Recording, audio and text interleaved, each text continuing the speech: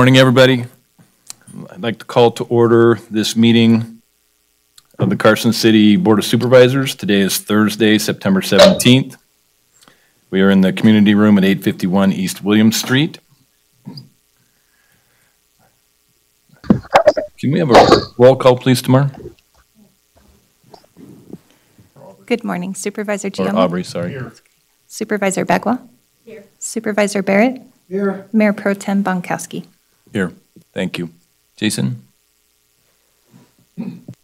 For the record, uh, Carson City District Attorney Jason Woodbury. With Mayor Crowell's uh, passing, I wanted to offer the board a statement outlining the legal procedures that are triggered by the vacancy in the office of Carson City Mayor. Section 3.015 of the Carson City Chi- Charter provides that the mayor pro tempore, uh, quote, "shall act as mayor until the next next general election if the office of mayor becomes vacant," end quote. Uh, Supervisor Bonkowski was elected as mayor pro tempore in January of this year, and he will serve as acting mayor through January 3rd of uh, 2021. On January 4th of 2021, Supervisor Bagwell will assume the office of mayor by virtue of her election to that office earlier this year. Uh, One of the duties of acting Mayor Bonkowski will be to preside over the meetings of this board. Uh, And during this period, the membership of, the total membership of the board is reduced to four. Uh, This means that uh, three members are still needed to be a quorum of the board uh, to conduct business and take action. Any motion that results in a vote of two in favor and two against is a failed motion uh, because it is not approved by a majority of the board. Um, So that is an outline of uh, some of the procedures that will be applicable these next few meetings. Thank you, Jason. Are there any questions from members of the board? Hmm, All right, thank you very much. At this time, uh, if we could all stand. I'd like to have a moment of silence uh, for uh, Mayor Crowell, and then after the moment of silence, uh, we'll move to the invocation.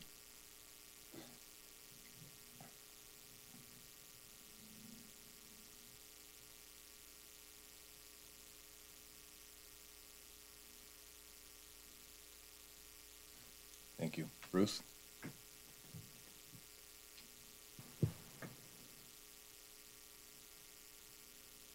Janet told me she'd have plenty of Kleenex out here today, but I don't see any. Let's pray.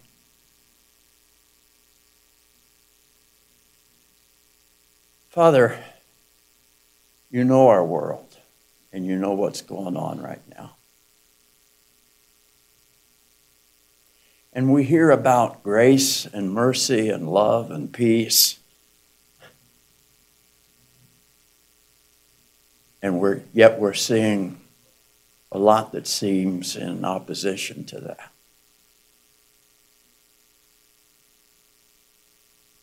We would ask your blessings upon all the crises going on around us, around the world. And through them all, may we see your love and your grace and your mercy and peace. And now, Father, here we are. Without that center stage smile that greets us all. Whenever I came into the room, Bob would run and greet me with a smile and ask how my grandkids were. This morning, as I was reading morning devotional, I saw him all through the page as I read these words of Bob Goff. God didn't settle for second best when he created you. You're not a carbon copy, you're an original. Play your own song, write your own book in your voice, make your own painting, not someone else's. Keep your eyes on Jesus and let Him fill your imagination with your own unique gifts to bring to the world. What do you have that you can give to others in love? And that was Bob, an original with unique gifts bringing to the world in love.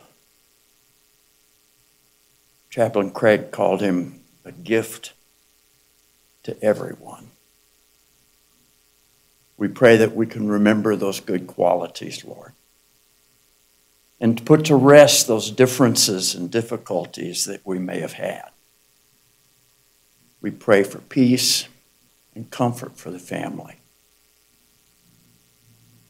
We pray that the good memories live strong. And I conclude with the high priest Aaron's blessing upon Israel. The Lord bless thee and keep thee. The Lord make his face to shine upon thee and be gracious unto thee. The Lord lift up his countenance upon thee and give thee peace. May our community be blessed with fair winds and following seas. Amen. Thank you, Bruce. Jason, could you lead us in the pledge, please? I pledge allegiance to the flag of the United States of America and to the republic for which it stands, one nation, under God, indivisible, with liberty and justice for all.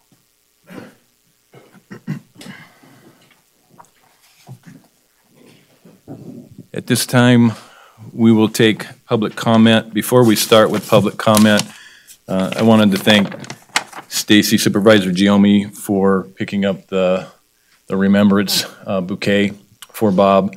I wanted to thank Sheriff Furlong and Chief Slamon and everybody on staff for putting together the motorcade to bring Bob's body back and, and to set up the, the honor guard uh, ceremony that we had on, uh, on Saturday. Um, And then I, I wanted to uh, start public comment um, with a message to Bob's family. To Susan, Bob's four children and grandchildren, and grandchildren,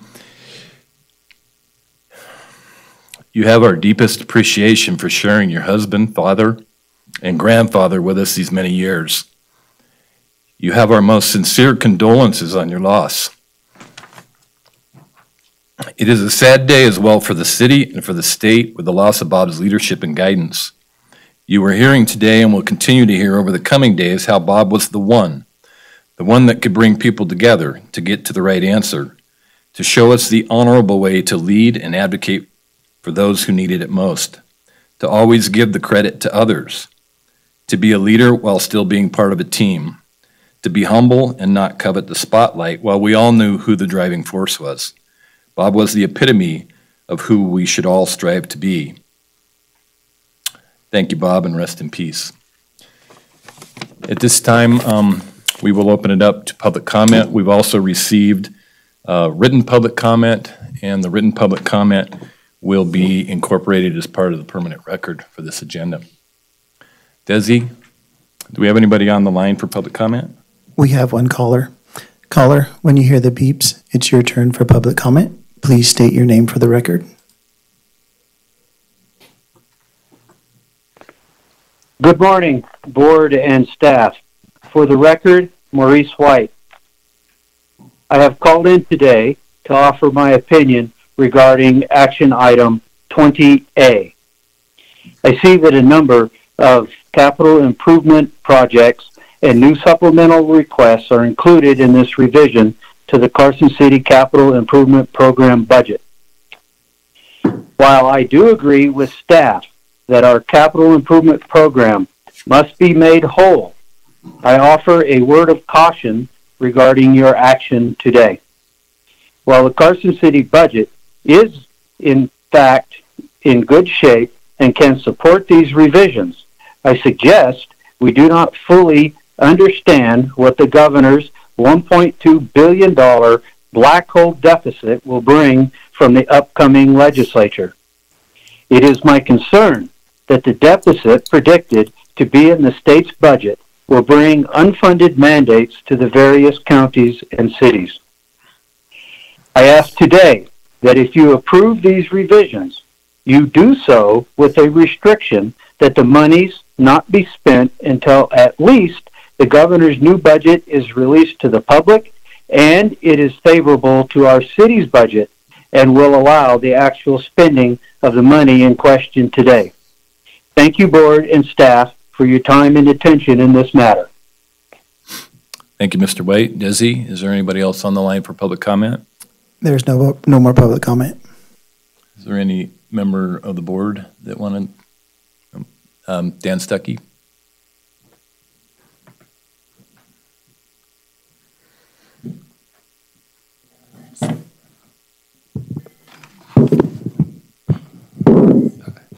Good morning, Board. Dan Stuckey, Deputy Public Works Director for the record. I just wanted to take this opportunity um, to introduce some new employees that we have. Obviously, I wish the mayor was here um, to meet them as well. Um, First, I want to introduce our new city engineer, uh, Randall Rice. Randy comes um, with broad experience both in the public sector and the private sector, designing, managing large infrastructure projects. He has experience in land development, so um, he kind of brings that diverse skill set that we expect out of our city engineer. So we're um, excited to have him. He's also a past president of the American Society of Civil Engineers, so very involved in the community. Um, we're excited to have him on board.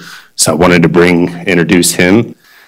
To the left, far left there is Robert Nellis. He's our new real property manager. Um, he comes uh, again with another diverse skill set, both in law, real estate, uh, management of projects, both public and private sector. Most recently with the Nevada Department's transportation. He's also worked um, for Nevada State Land. So those are big partners for the city. He knows how they work. Um, we're excited to have him on board as well, and he's got a big backlog already of a, of a lot of projects. So. Um, but anyway, wanted to take this opportunity to introduce these two uh, gentlemen to you, and obviously you'll be seeing a lot of them in the future. Thank you. Robert, do you go by Robert or by Bob?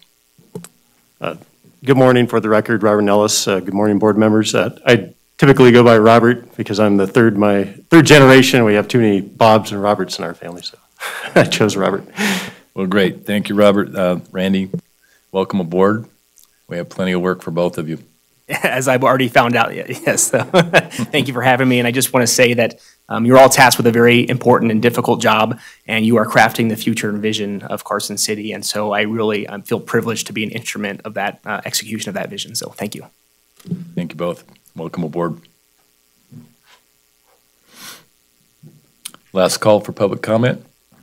Anybody on the line, Desi? There is no public comment. Thank you very much. With that, we'll conclude public comment. We'll move to agenda item six for possible action, approval of the minutes. All the members of the board had a chance to read and review the minutes. I did, I have correction. If so, I'll entertain a motion.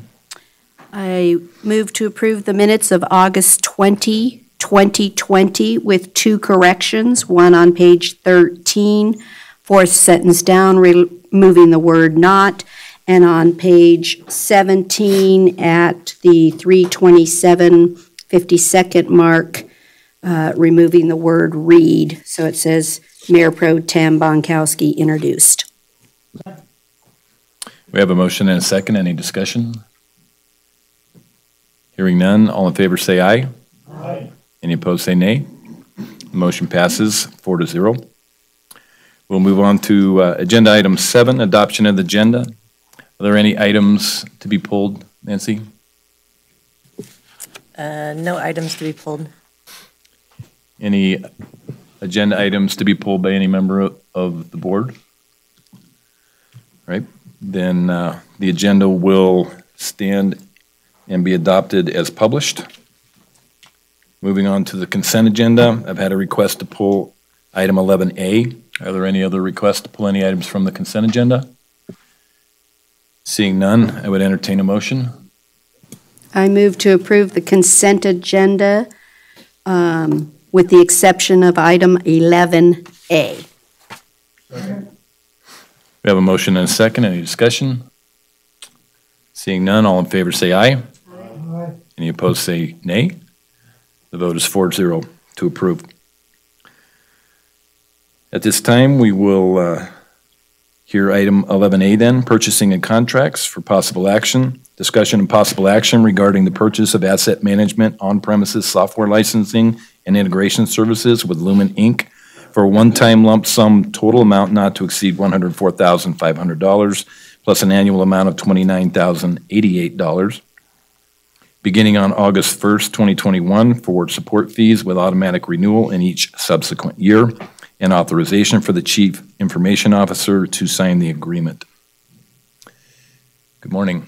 James, Carroll, take it away.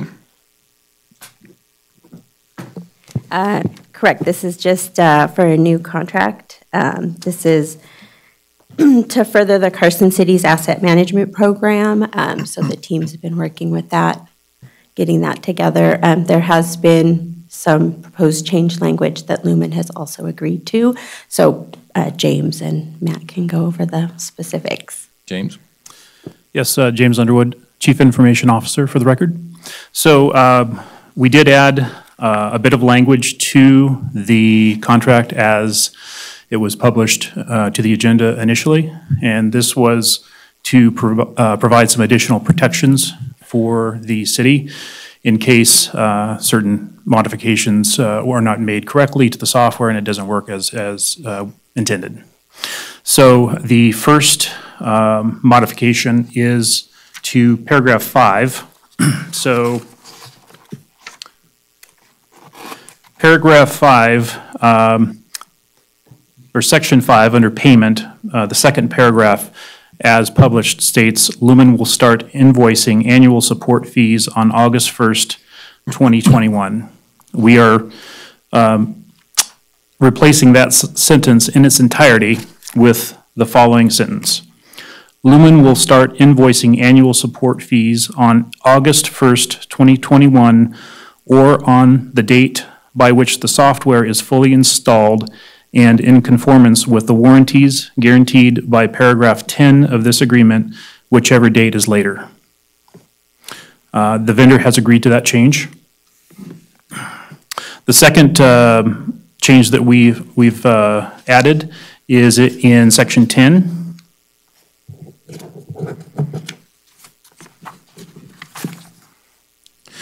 So currently, under warranty, uh, section 10 warranty, the uh, second paragraph ends in the words services agreed, agreement by both parties.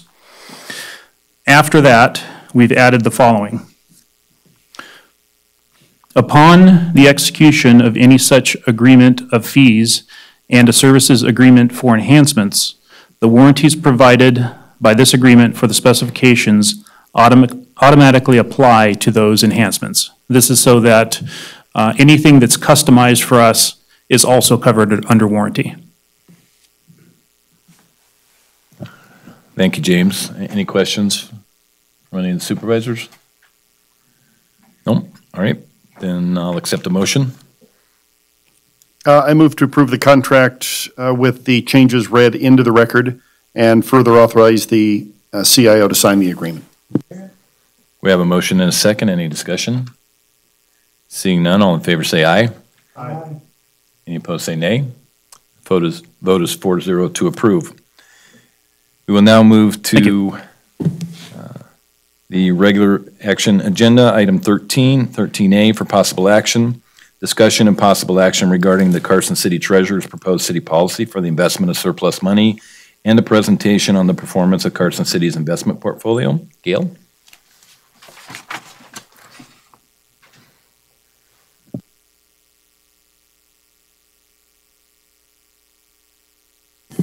Good morning. Um, Gail Robertson, Treasurer for the record. I have with me today also Rick Phillips. He is the President and Chief Investment Officer of H- FHN Financial Main Street Advisors. He advises um, a little more than one half of our core investments, and he also is the manager of the um, state LGIP, the local, and local government investment pool. So per our charter, I'm required to bring the uh, investment policy to you each year for review and hopefully adoption. So that's what you have before you. We haven't changed it since September of 2019. Great. Rick, how are we doing? Doing well in interesting times. So I'll get started on the presentation. Just a, a little bit of background. We've been honored to be the uh, one of the city's investment advisors back to when Treasurer Kramer was around in 2005. And uh, we provide investment management and consulting to states and local governments. That's exclusively our business, about 70 billion in assets, a lot of the entities in our state. Uh, we're based in Las Vegas. Our parent company is First Horizon National, uh, founded, I was looking at the SIL, just about when the city was founded back in 1864, one of the largest 50 banks in the country. I started my career in the public sector as the investment officer for the city of Las Vegas in 1989, and then moved over to Clark County a few years later. And then about 15 years ago, we, we started our own firm to, to do this for state and local governments. So we're going to talk about the economy and the markets for a few minutes, and then at the end, I'll, I'll talk on the, the portfolio. And so forecasting the markets and the economy, I, I've always loved this, uh, this little cartoon there. It's uh, pretty much a, a coin toss. And a couple quotes uh, from John Kenneth Galbraith, economist in the 70s. He said, the only function of economic, and I added interest rate forecasting, is to make astrology look respectable. Uh, and Chairman Bernanke of the Fed said the Federal Reserve is currently not forecasting a recession. That was in January of 2008. The Great Recession started the prior month. Yeah. And then I don't think any truer words have said by a Fed chair. Uh, last year, Chairman Greenspan said our ability to forecast is limited. so we'll talk about the economy, but you know who knows where it goes, and especially with all the COVID stuff going on. So a few discussion themes. The economy seems to be shifting to a lower gear. We're, this quarter, we're just finishing these last 15 days or so, kind of rebounding in fifth gear and, and gearing down to maybe a second gear. Employment gains face a tougher road ahead. Flu season's coming. COVID's been such an impact on the economy, of course, where we see a second wave or ripple. And with all that the Fed's done in their money printing and stimulating the economy with this $3 trillion, are we going to see low inflation or high inflation ahead? And the Fed introduced a new strategy to let inflation run a little hotter, a little higher, before they raise interest rates in the future. And with that, that's not a great strategy for the city's investments. And for those of us that invest short-term money, it's great if the city needs to refinance anything, if you're refinancing your mortgage, but challenging for the investment portfolio with low interest rates for longer. And then, not to get political, but I'll just touch a little bit on some forecasted things with the uh, Trump win on November 3rd, but maybe some post-election day chaos with the, the write-in ballots. So you see that, that little black graph there, that's the GDP circled in yellow. We had a minus 30, almost 32% annualized the first quarter, or the second quarter of the year when everything was, so many things were shut down. And then a big rebound is forecasted this quarter of almost 25%. Then you see slowing down where that is a red uh, box around there, five, four, down. And then I also circled uh, inflation. We will probably see a little higher inflation down the road, but it'll still be low. And so most likely interest rates will remain low in impacting the portfolio. So when I talk about the activity shifting to a lower gear, the New York Fed has this weekly economic index, and you see it's really correlated to the year-over-year GDP of the United States. So during the Great Recession, 10ish years ago, we declined almost 4%. And you can just see the huge drop that we had, of course, the first part of, of this year. And then a big rebound, but it is kind of slowing down because that stimulus, unemployment benefits, they have uh, slowed. And so hope for a second stimulus, a CARES Act, kind of challenge right now. We'll see what happens there. This is a look at around the world, many of the developed countries in Europe and Japan and the United States, at their consumer activity, different metrics they use. And you see, of course, the huge drop we had with so many economies around the world shutting down in March and April, and then rebounding pretty sharply in May and June, but then just kind of slowing down here lately. And the U.S. has actually been on the, the lower end, only recovering about two thirds of that where we were before. Gasoline demand, so that, of course, during that those first few weeks of shutdown, people didn't drive as much. That has rebounded quite a bit. We're only down about 12% of pre-COVID times. One benefit on the right-hand side, I've graphed gasoline prices, and, and they, I know it's kind of hard to read. So those were, that peak back in 2008 was around $4 a gallon nationwide, and it's around uh, 2 point, uh, 220 right now. So helpful for consumer to have lower energy prices. So we are driving more, but here's the challenge. Airline travel, I flew up from Las Vegas last night, and flight was fairly full. You have the middle seat not taken on Southwest, um, but we used to have about nine flights back and forth, and I saw there were only three yesterday from Las Vegas to Reno.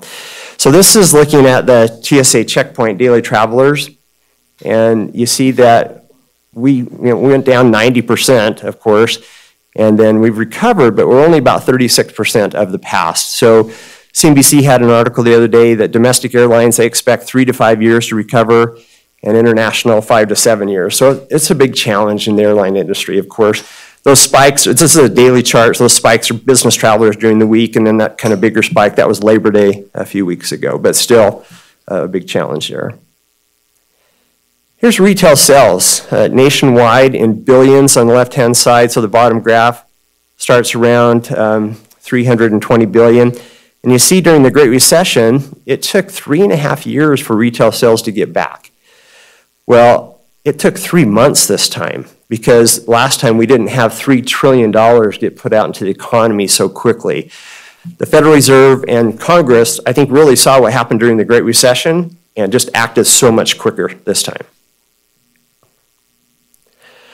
But employment, this faces a tougher road. This is total employment, so in millions on the left-hand side, 130 million starts the graph. We see the dot-com 9-11 recession. It took 49 months to recover all those jobs. Great Recession, 77 months. We dropped 22 million jobs from the economy when things shut down. Our state was hit the hardest. Uh, we've rebounded about 10 million jobs, but still, it just seems like a, a lot of things to go to get jobs back there. A lot of companies filing bankruptcies and laying off people. And the Fed's really watching that because consumers, we make up about 70% of the economy. And when benefits run out, we obviously need jobs to have income to spend. A couple COVID slides. So that top left is daily cases in the US. And we see it's uh, gone down from 70,000 down to under about 35,000, so that's great to see. Uh, hospitalizations had kind of two waves there, but that's trending lower. Deaths, of course, we'd love to see that at zero, but uh, much, much lower than those really terrible times back in, in April, uh, New York and New Jersey particularly. And one thing we really watch is hospitalizations as a percent of cases. It's dropped dramatically. We're really knowing much better how to treat this thing. Uh, but Dr. Fauci, he says that we probably won't get back to normal, whatever normal means, till later next year. Here's the cases looking in our state. Again, we similar pattern as the U.S. We dropped quite a bit, so that's great to see. Hopefully, more and more things will be able to open up in Nevada. So, talk a few slides about inflation. That really drives where interest rates go. So, this is the amount that each of the central banks, these big central banks, Bank of Japan, Australia, the European Central Bank, and the Federal Reserve, have increased their balance sheets. So they digitally print money, go out in the market and buy bonds to push interest rates down to help stimulate lower interest rates, you know, mortgages, auto loans, things like that. So you see they've dramatically increased their balance sheets. So Japan, just off the charts, 131%, just but yet their economy, they don't have much inflation, they haven't had much growth. And so the Federal Reserve is really watching that to be careful not to increase too much, but they've helped to fund that $3 trillion by buying a lot of those bonds issued by the Treasury to keep interest rates low. I'm going to read a, few just of these red remarks here. This is the Vice Chair, Richard Clarida, talking about this new inflation strategy. Again, not good for the city's investments because they want to keep interest rates low for a longer period of time but great if you're borrowing money. So he said instead of having a, top limit of 2% on inflation, they're going to have an average target. So inflation could run a little hotter. And then he said, we believe that forward guidance and large scale asset purchases, so we're going to talk about forward interest rates and then we're going to continue to support the market by buying bonds, will be effective uh, sources to support the economy when the federal funds rate is at the ELB, effective lower bound, basically zero is what they mean. And he said, and we're really glad to see this, we do not see negative policy rates or a negative Fed funds rate as an attractive policy option in the US. They've seen how devastating that's been to Europe and Japan's economy with the slower growth, and so they don't want to do that. But I kind of chuckled at this line, this next line, going back to my first uh, uh, comic slide there.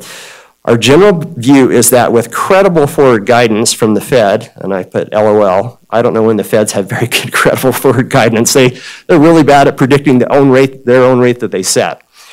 And then lastly, he talks about yield caps and targets aren't warranted in the current environment, but should be an option, meaning that they might cap interest rates by buying bonds to keep them low. So we'll see. It's a very new, different realm for the Fed with their, their mandate on inflation. Here's just a long-term look at inflation. The graph goes back to the early 60s, and we see in the 1970s and 80s, we had a spike of inflation getting up to 10% on the consumer price index there. But the last 40-ish years, we've had in inflation decline and really remain very low the last 10 years. In fact, that 2% target, the line I drew, the Fed would like to see inflation a little higher, and you wonder, why do you want to inflate things to cause people to pay more in the future? Well, they've seen devastating impacts of what deflation can do to economies. They don't want that, so they just want a little bit of inflation. But for the last decade, the last 10 years, they've only had inflation above their target of 2% 10 months. So it's, uh, we'll see. Uh, the demographics are very different back in the 70s and 80s when baby boomers were those forming households and really spending a lot of money to drive prices up. Here's a very long-term look at interest rates. This goes back to 1790. And so average 10-year interest rates in the U.S. from almost when our country started, they've really been averaging about 4 to 6%. So you see in World War II that uh, low dip there, that was very low. And of course the spike, that was really unusual. So you know, maybe we'll see another time with interest rates high, but probably not. So, but our super low rates we had during the Great Recession, and then again, all-time low rates that we have right now. I'll just skip that one. Here's um, here's these negative treasury rates around the world. So you see in the red, Switzerland, Germany, Japan, you know, very low rates. We actually used to be what I call the, the cleanest shirt in the interest rate dirty laundry until the Fed had to lower interest rates to zero earlier this year. But we still have green, we still have positive rates, but that gravitational pull of negative rates around the world probably going to keep our interest rates low for a long time. Here's the stock market.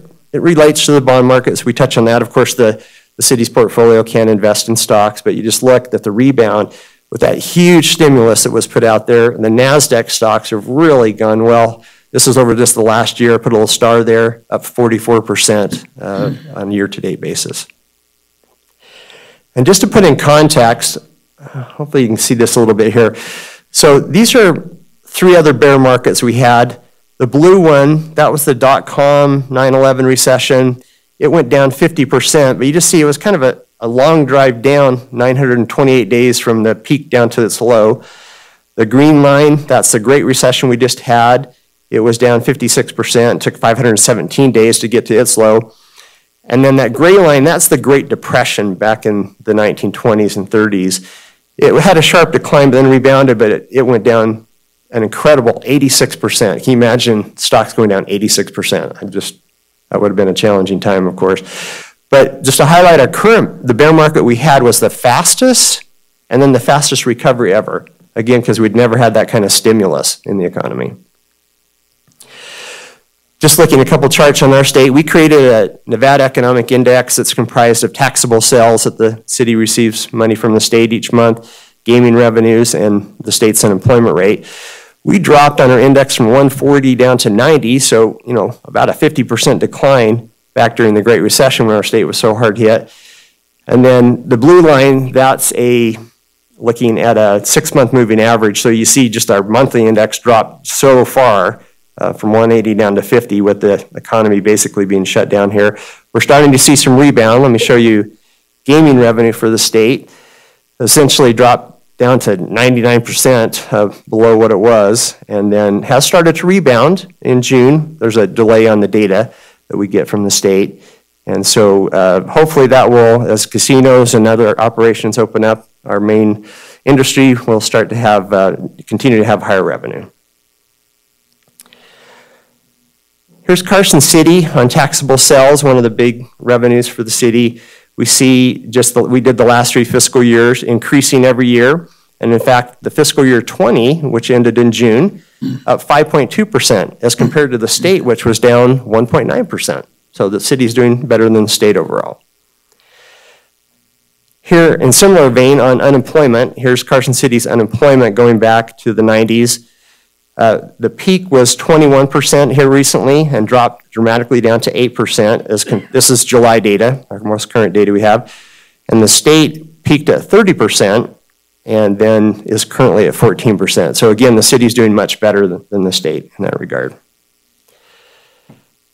Uh, just an interesting thing from the market volatility, a uh, article from the Axios group saying that Trump could have a, an election day landslide, but maybe post-election day chaos due to mail-in ballots because they, they expect more Republicans to vote in person versus Democrats on mail-in. So we watch that just from a market standpoint, from volatility, um, and then this is, um, you can actually we shouldn't be surprised living in Nevada you can bet on the elections. Uh, predictit.org. So yeah, it's a company based out of New Zealand, but they have U.S. operations, and, and they have a lot of people do this. So I like to look at this versus polls because this is real money. So the top graph is the Democrats to win. So how it works is you would right now you'd bet about $60 for Biden to win, and you'd receive 100 if he wins. And for Trump, you'd bet about $42 and get 100. And so, um, and then down below is the Senate race. Who can who will control the Senate? So we see that flip flopped in May, and and then it got really tight a few weeks ago. But the Democrats. So that's a, a tight race just to watch who will control the, the U.S. Senate.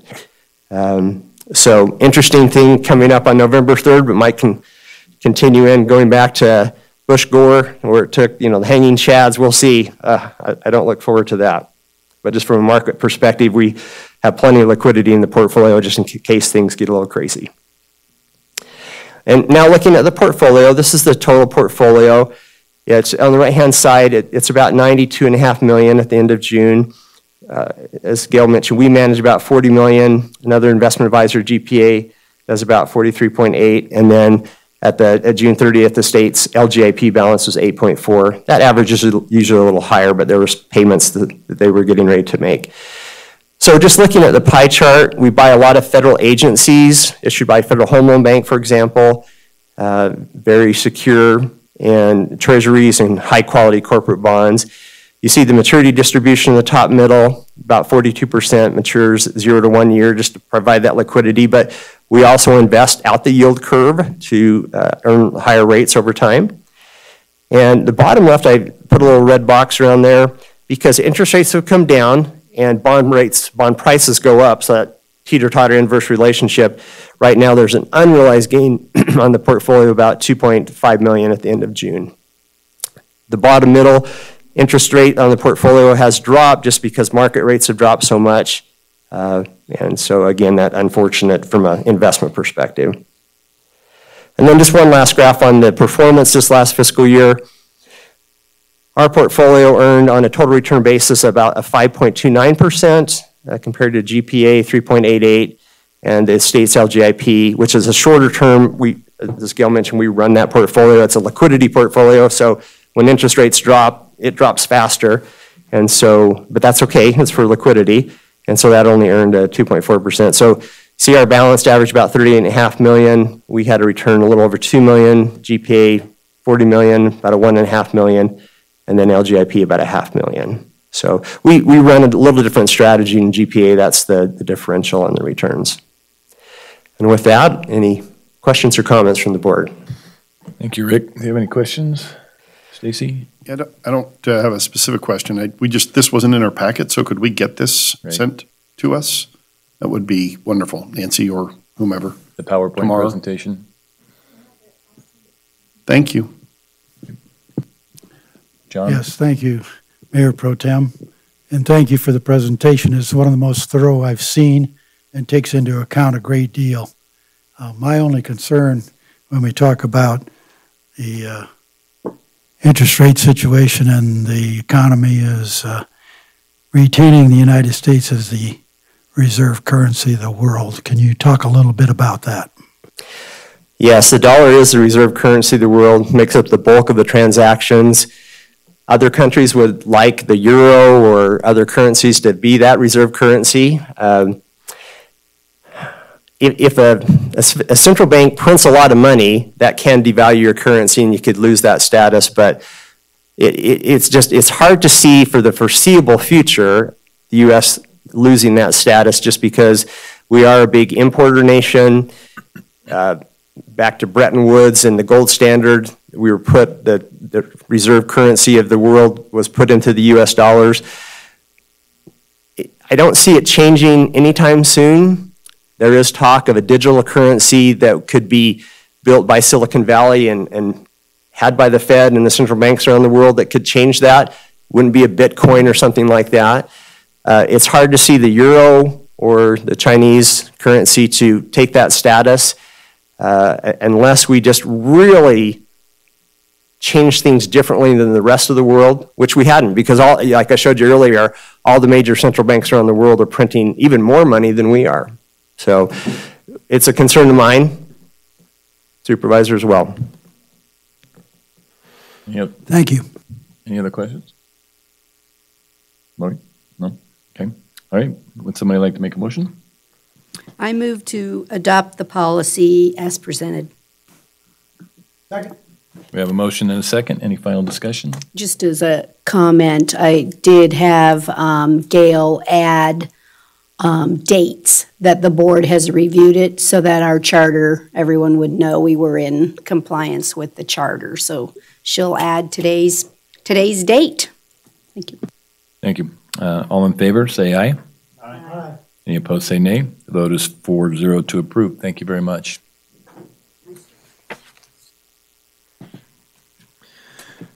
We're on agenda item 14A for possible action, discussion and possible action regarding a request to reclassify the Prevention Program Coordinator position, CCEA T42, and to move that position from its existing inclusion in the Carson City Employees Association to the Carson City Deputy Sheriff's Association. Mr. Sheriff, take it away. Good morning. Uh, For the record, Sheriff Furlong, and alongside me, uh, Sergeant Matt Smith, um, who oversees our juvenile activities, school resource officer programs, et cetera. Um, To begin with, just for our audience, this is a discussion and possible action regarding a request to reclassify the uh, Prevention Program Coordinator position, which is a CCEA, um, Carson City Employees Association T42, and to move that that position uh, from its existing inclusion in CCEA to the Carson City Deputy Sheriff's Association. Um, As I said, the purpose of this agenda item is to request your approval to reclassify this position or move this position, a funded position of the sheriff's office, from Prevention uh, Programs Coordinator to Deputy Sheriff. Um, At the longstanding direction of this board, as well as your predecessors, as vacancies occur in our organizations, it is incumbent on the directors to perform a review of the positions with IFC before filling vacancies.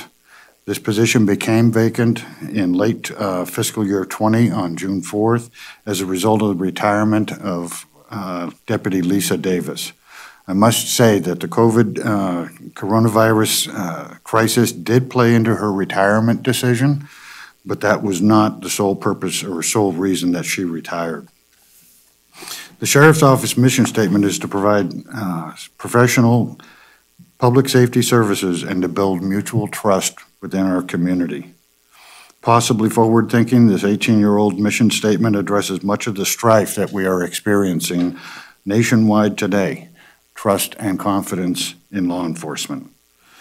Parallel to this, even the Commission on Law Enforcement notes that that of the 13 conditions that affect crime in the community, those relationships between the police and the public, as well as the concentration and the population of youth, are major contributing factors. Programmed within this, within the strategic plan of the Sheriff's Office, this position, tasks, and responsibilities was created as having a critical impact on our mission the health, welfare, and safety of the community. Historically, this position was originally put in place in approximately 2003 to address the uh, DARE opportunities in our schools and in the community. Initially staffed by a civilian employee, certification challenges were met since she, at the time, was not sworn. And as the position has evolved from its early years, many of the agency's outreach tasks and priorities were eventually assigned to the position. Within two years, that position was vacated and the civilian employee was replaced with Deputy Lisa Davis, who we all know, a Nevada Post certified peace officer. Throughout Miss Lisa's tenure, she maintained her law enforcement certification even though the position itself remained in CCEA.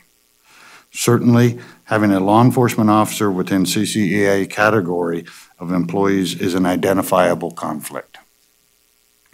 For the past 15 years, consistent with the job uh, description as posted by Human Resources, examples of her uh, job or of, of the job uh, position include DARE, DARE Plus, DARE Keeping It Real programs, developing and coordinating partnerships with schools, parents, teachers, and students, implementing and delivering substance abuse, crime prevention, and violence prevention programs, acting as a community liaison officer for third-party participants, including youth, parents, schools, and law enforcement agencies, organizing and facilitating and coordinating community-based and after-school safety programs, parent organizations, community agencies, civic organizations, and uh, citizen training opportunities, process training requests, maintaining records, schedules, and servicing, uh, service training, and assisting with travel uh, to accommodate.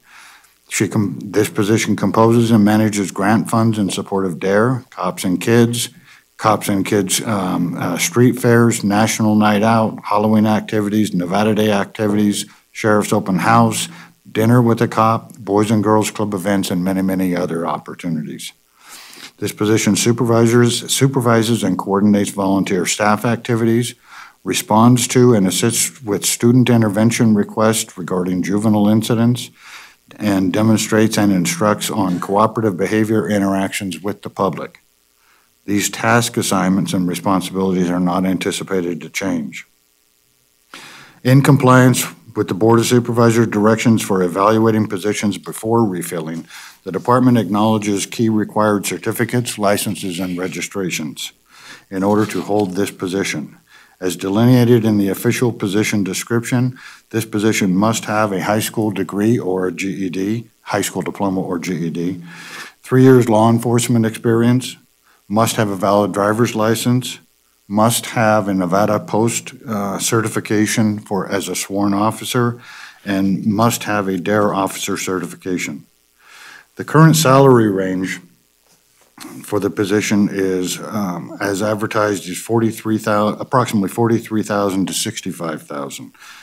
Currently, the average deputy wage is approximately 60,000, with an average hourly rate of $29. Fiscal impact for 21 is positive salary savings as the position has been vacant since June 4th, and it will be assigned by uh, current staff and backfill is expected to be through normal entry-level, non-post practices. Incidentally, I would, uh, I'll suggest to you, we currently, as a result of many of the things going on in the world, it takes us about 12 to 18 months to get officers post-certified. Uh, Any officer who is not post-certified within the 12-month period requires a waiver from the post commission. I'll be going down uh, to visit them in a few months and request a waiver on three of our officers. Uh, Ms. Davis was budgeted for fiscal '21 at $97,000, and fiscal '22, $99,000. Can I interrupt you for a second? You certainly may. Um, Um, You outrank me. The,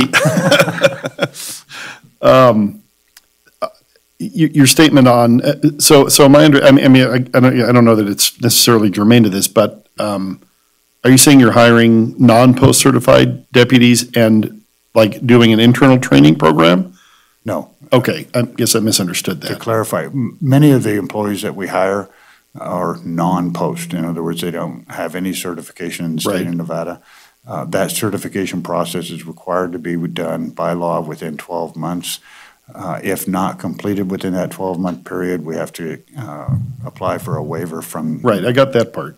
So my question was, are you hiring deputies who don't have post certification then? Yes, Okay. yes. And that's, you find that's beneficial versus hiring post-certified deputies, or the- are programs not available around the area anymore?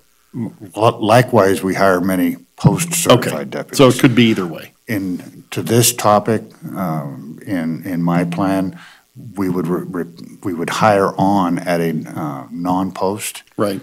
That way we could stay within those projected salary or projected uh, budget i- items and line items. Gotcha. Okay, thank you. Um, The uh, previous position held, uh, let me see here, I'm going to try and jump back to where I was. Um, For fiscal '21 was approximately $97,000 budgeted. Uh, Entry anticipated employee is approximately $86,000 for fiscal year '21. Uh, For comparative purposes, a currently qualified deputy at step four is approximately $106,000. Uh, I do have one uh, person within the department who is, um, who maintains some of those certifications, but not all, in order to complete the task. The options that we considered was to uh, remain as is, which conflicts with the bargaining unit descriptions, as CCEA is predominantly a civilian-based uh, organization. Um, Option two was to move the position to the sheriff's executive charter uh, authorizations. Uh, However, I, I I don't see this as an executive level position, and therefore that was not, not a good option. The third option was to move, uh, move this position by reclassification to the CCSDA, which is the Carson City Sheriff's uh, Deputies Association, consistent with the duty description as has been provided for many years. In conclusion, the worldwide COVID crisis has had a very detrimental effect on this agency's critical and hallmark uh, outreach efforts.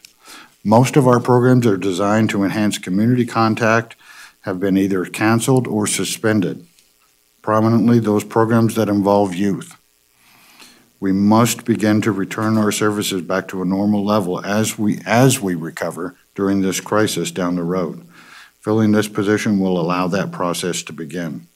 It is my recommendation that this position be reclassified to deputy sheriff, consistent with the training and functional assignments, and with required certificates, licenses, and registrations.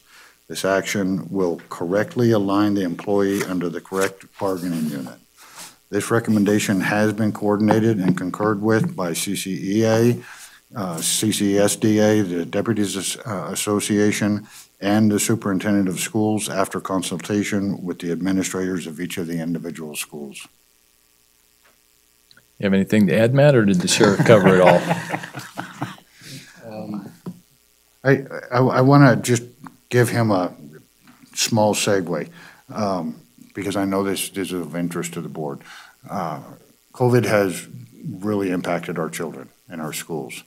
Um, But, as Matt will, can, can attest to you, uh, the activities of our uh, officers that are assigned to our schools and our youth and the programs has actually increased.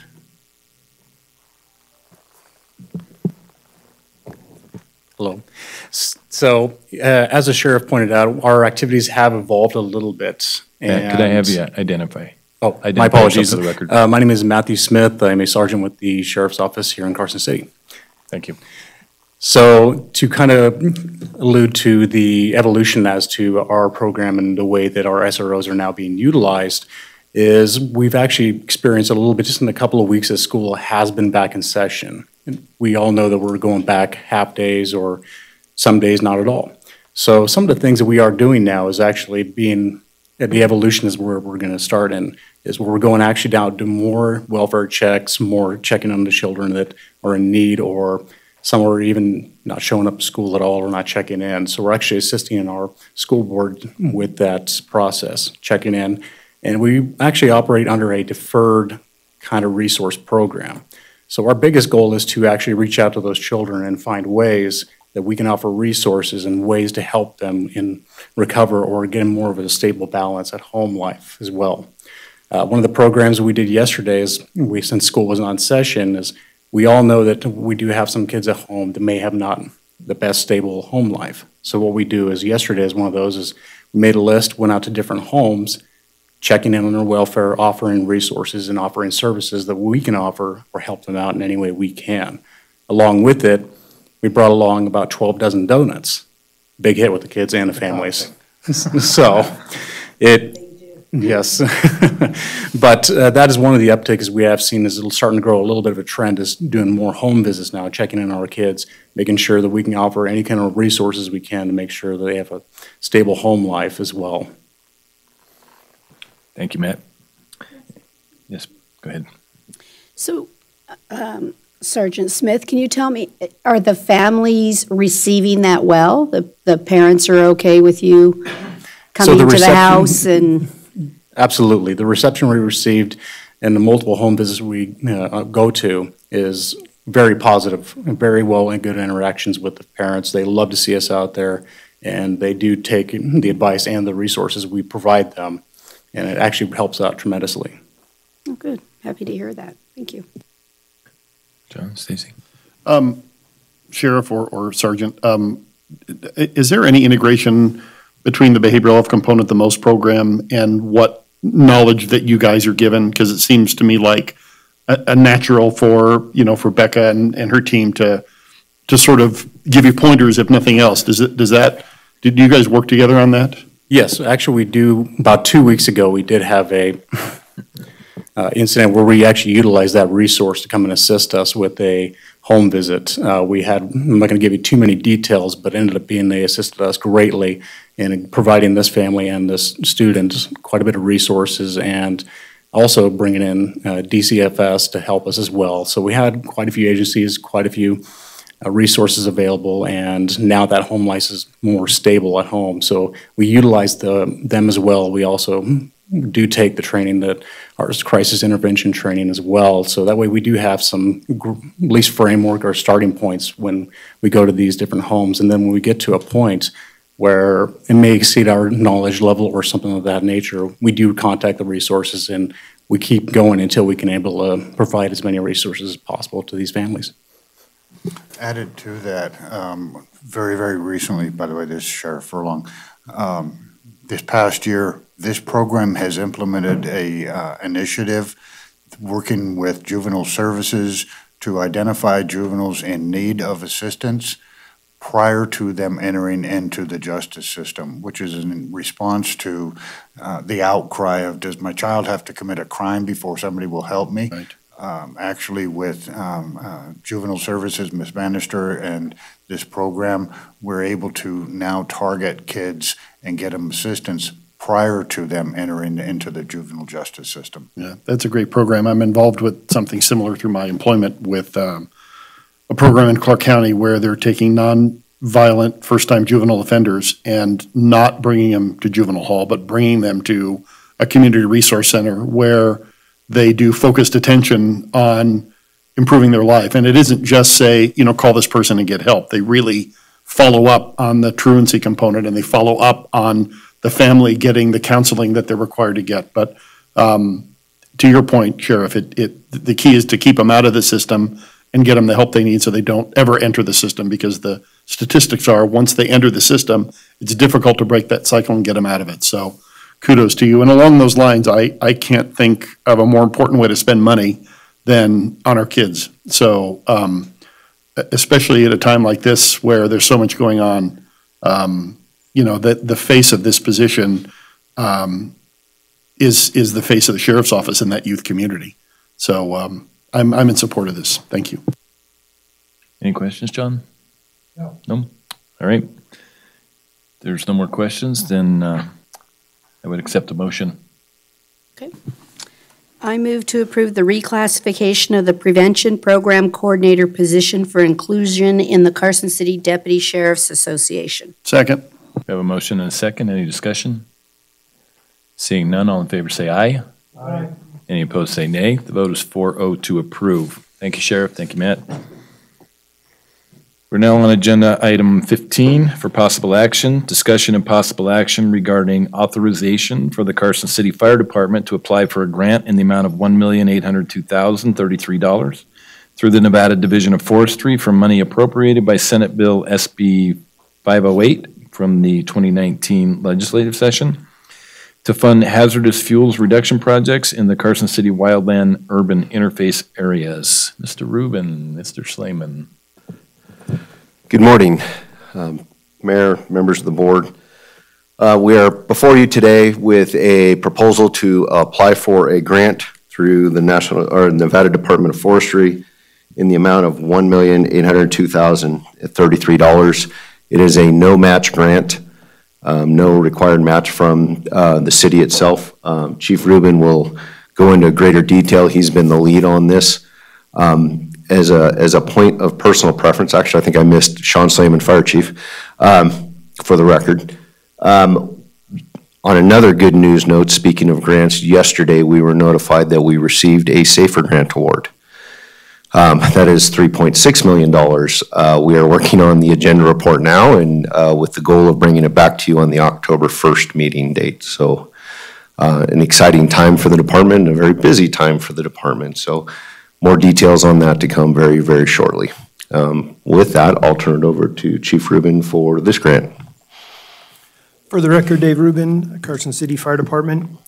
Uh, Mayor Pro Tem, Supervisors, uh, we're here before you, like uh, the Fire Chief mentioned, to request authorization to apply for this grant through the Nevada Division of Forestry.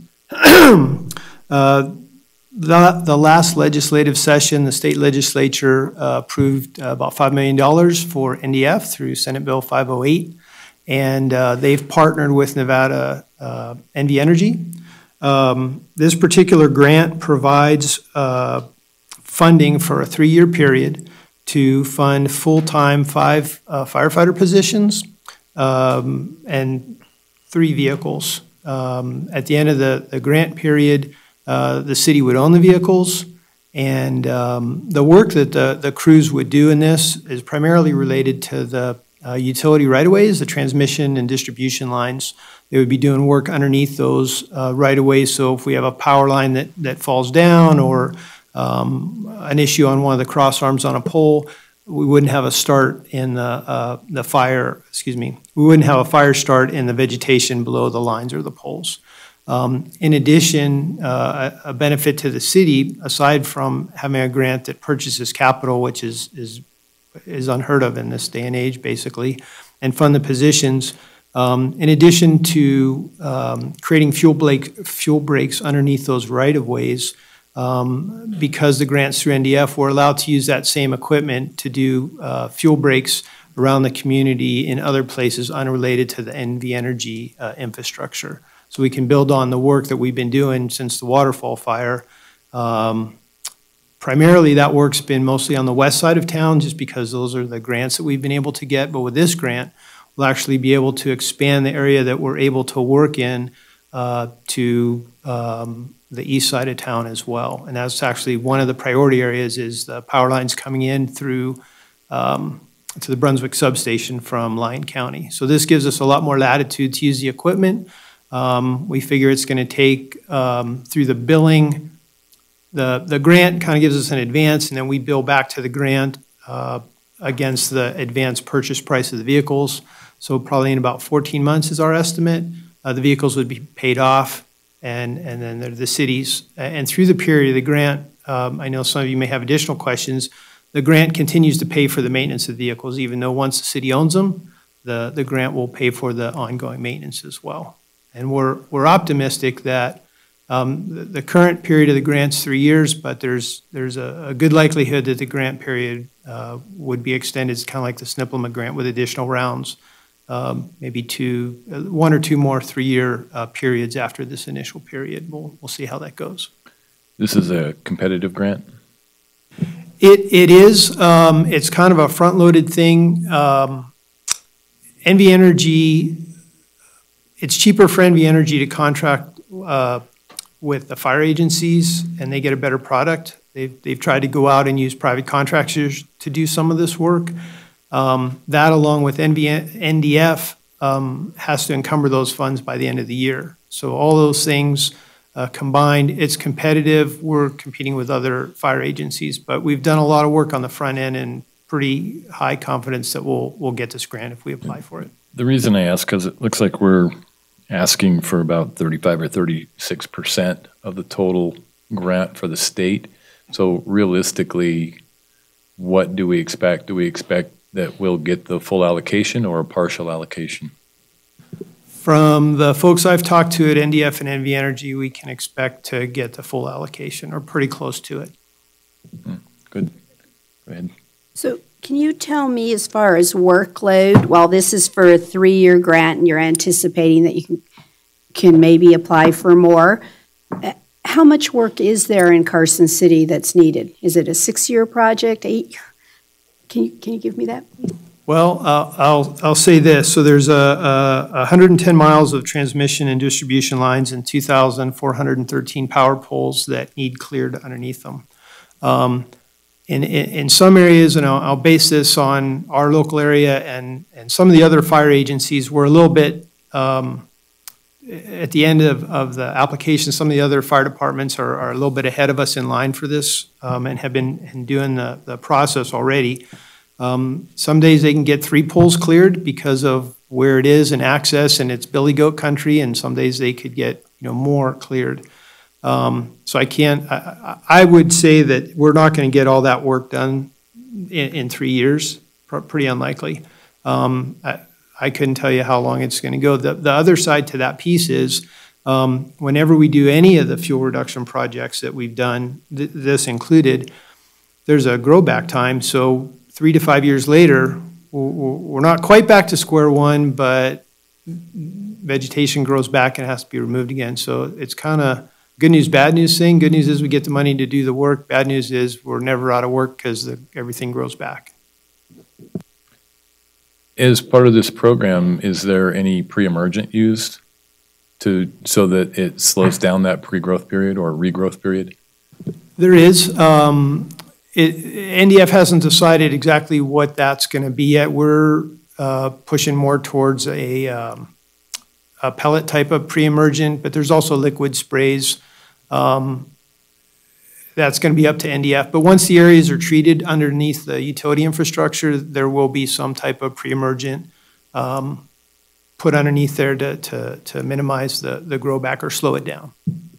Any additional questions? Stacey?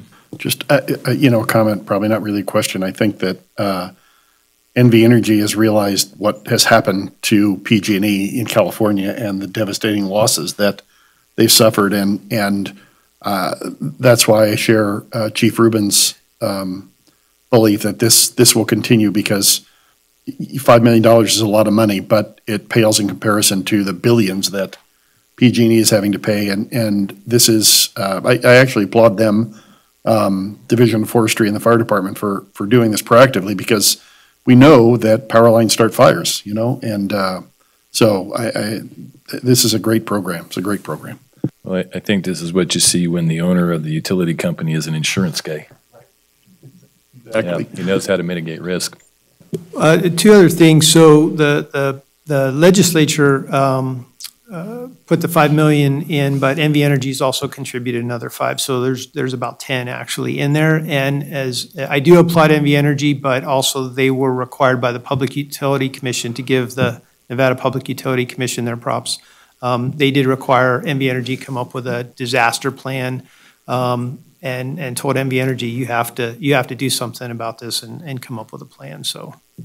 But they are, they're being very proactive, and, and uh, I think this is a great opportunity for the city to get a lot of work done and get some capital, uh, which we can use on other projects down the road. Lori? So can, can you talk to me about how the priorities are selected for the work to be accomplished with 2,000 poles to do. How, how is it determined? Um, it, it, it's going to be determined in conjunction with NV Energy and NDF. Um, primarily, NV Energy will, um, be the main driver of it. They, they know their infrastructure better than we do in what areas, um, you know, that's not our expertise. So I know, like, as an example, for right now, the main areas that, that they've talked to us about that they want to prioritize is the lines coming in from Lyon County in Mound House over into Carson, um, the lines going up to Lake Tahoe, up the Voltaire Canyon, and uh, as well as some of the lines that are over uh, kind of by the Carson Washoe line in South Washoe Valley uh, over in Lakeview. Those right now, I think, are going to be the initial areas that they're the most concerned about. Um, And so they'll, they'll kind of be uh, determining that.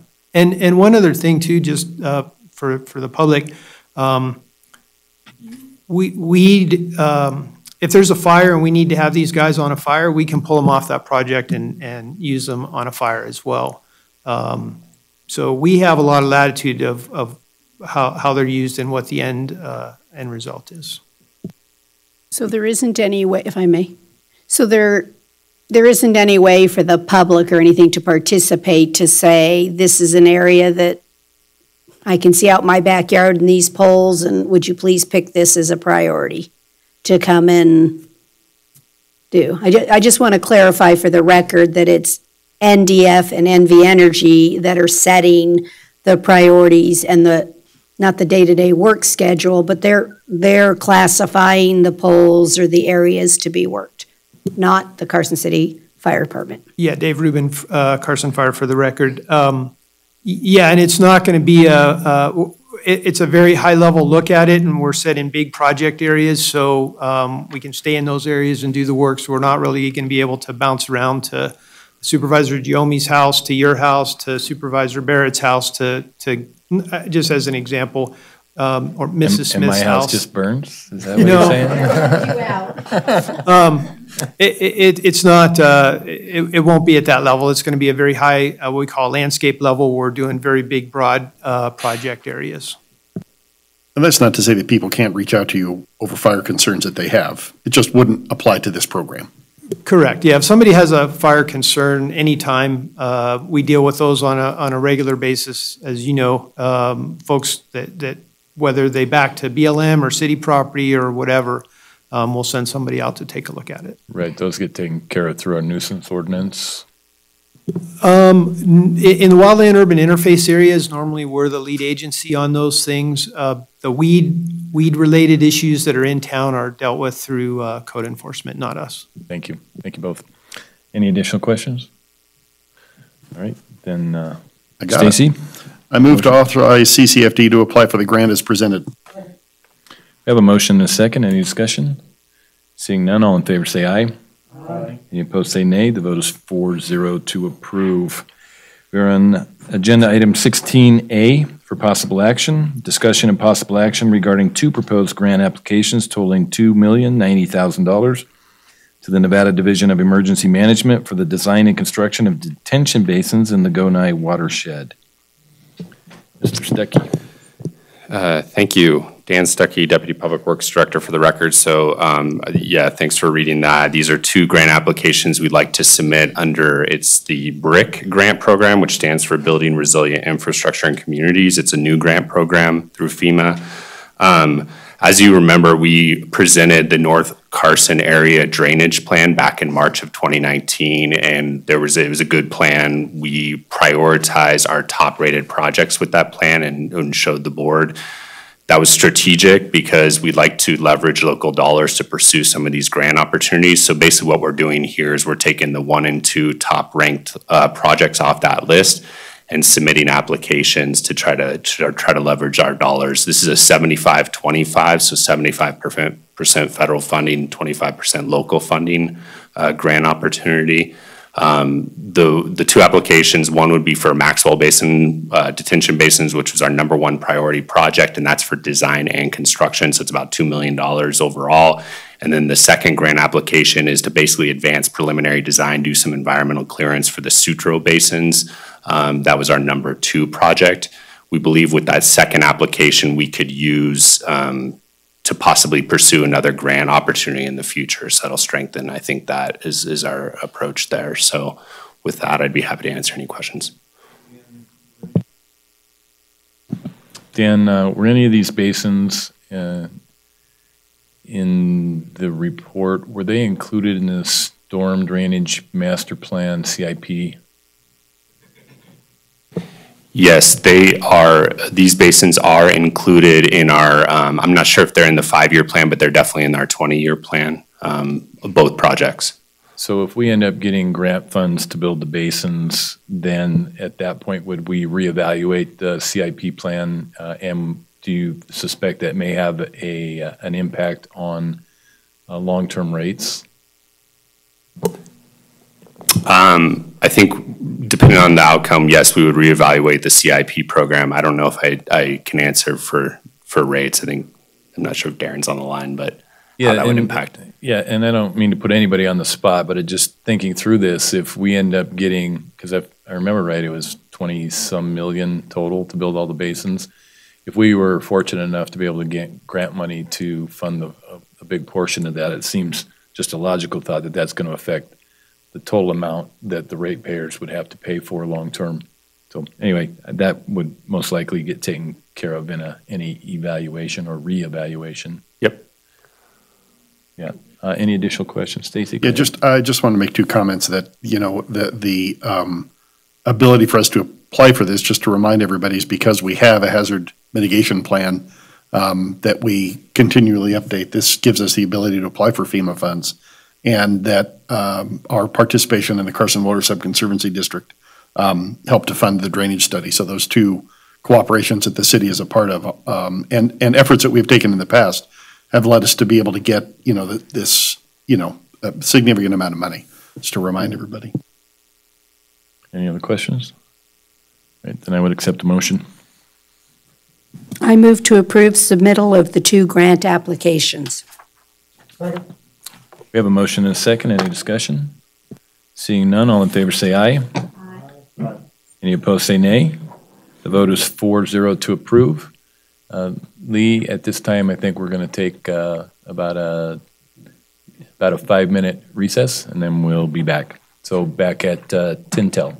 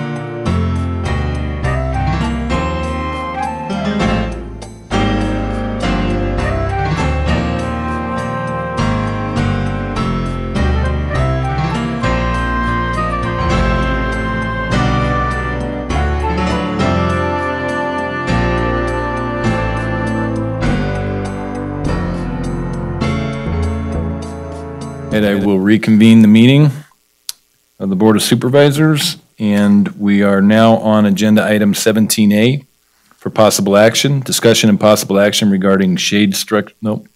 Is that right? Okay, all right. Uh, Shade structure alternatives at the Brewery Arts Center, Third Street parking lot, and McFadden Plaza. Mr. Plemel. I'll start. Lee Plemel, Community Development Director.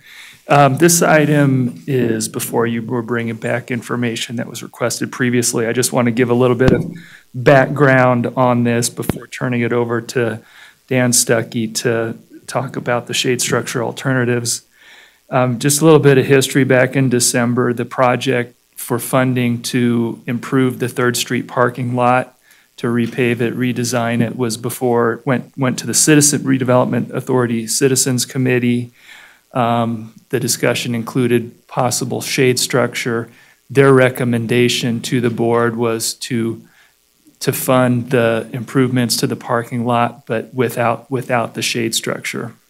As that was brought to the Board of Supervisors on, uh, on uh, December 19th, um, we, were- uh, there was more discussion about looking at alternative locations and to, to consider not only the shade structure at that, but then to look at also other alternative locations for the shade, stru- shade structure to include, and there, and possibly the farmer's market to include the Brewery Arts Center. So there's, that, that's included in this. And then I think what, what was added on, not necessarily for the farmer's market, which is, was the shade structure in McFadden Plaza. So that information is included today that Dan's going to go over. And the last thing I just want to note in terms of, in terms of funding the project, right now, uh, funding has been allocated within redevelopment for the repaving, for, for redoing the parking lot at Third Street. That funding's in place, um, excluding a shade structure. So any, any action today to give us direction to do a shade structure would have to come back for, for funding for the, for the shade structure. Um, With that, it- you know, the estimated uh, that we know of for undesignated and redevelopment right now is approximately 113,000. Um, Once, once the augmentations go through by the end of this year and there's roll forward from last year, I would expect that to go up, um, but, but until we know that number, I'm not sure exactly what that number is. But if you give us direction on any shade structures today, we, uh, again, we'd have to come back to authorize the expenditure because we, to, you know, today we don't know what your action is going to be. Um, But we could come back with an expenditure at least to start design, even if it's something where we need more money. It might have to carry in after augmentations, or it might have to carry into next year, but at least uh, we do have, definitely have the funding to start design if that's an option for your consideration. But I want to turn it over now to Dan to go over the options and that you requested. Yeah. Before you First, could I start- ask a question? Um, When you say bring it back, uh, you mean to the, to the RAC and then to the, the authority, the board? Or do you mean for, for um, redevelopment authority money, or are you talking about here? I think, um, I think you provided direction. I think the, the RAC has made a recommendation that they don't think the Third Street parking lot is the spot for a shade structure for events. I think they've made a recommendation on that. If your, if your direction is to pursue another location, um, I think it would be the, appropriate to bring it back to the RAC for a recommendation on the expenditure, as we usually do. You may even direct us to take it back to RAC if it's the third, if it's the Third Street parking lot, but that would be up to you. Thank you. Thank you. Dan Stucky, Deputy Public Works Director for the record. So I, I was just going to kind of walk through, you have, um, you should have had all the conceptual designs with your packet. I was just going to walk through those so we can go back and forth. Um, You know the three locations, as Lee mentioned. I did want to talk about just some considerations that staff made throughout this project. There are, in your packet, you'll see the different types of shade structures that were considered. I've listed them there. Basically, there's a solid um, metal type structures that you would see. And then there was also some fabric canopy type um, shade structures as well. I do want to point out that fabric canopy, we didn't consider that in any areas that would be um, that are owned or maintained by city forces. And that's, um, so that would be the, the McFadden Plaza as well as the Third Street parking lot. And that's just because based on past experience, there's, there's a liability with, with shade type sales. You have to constantly monitor high winds. You take them down in the winter because they don't handle snow loads. Um, so those types of things. So we did not consider those for city-owned property. I did want to point that out. Um, stakeholder coordination, as you mentioned, we've met multiple times with the Brianna Coons at the farmers market as well as Gina Lopez with Brewery Arts Center and considering how the farmers market set up. This is for, I'm talking about Third Street parking lot as well, as the Brewery Arts Center, how the farmers market would work with these conceptual options here as well as coordination with, with the Brewery Arts Center. So I did want to point that out. I know they're aware that this is coming today. I think they're on, on the call if you have questions for them um, as well.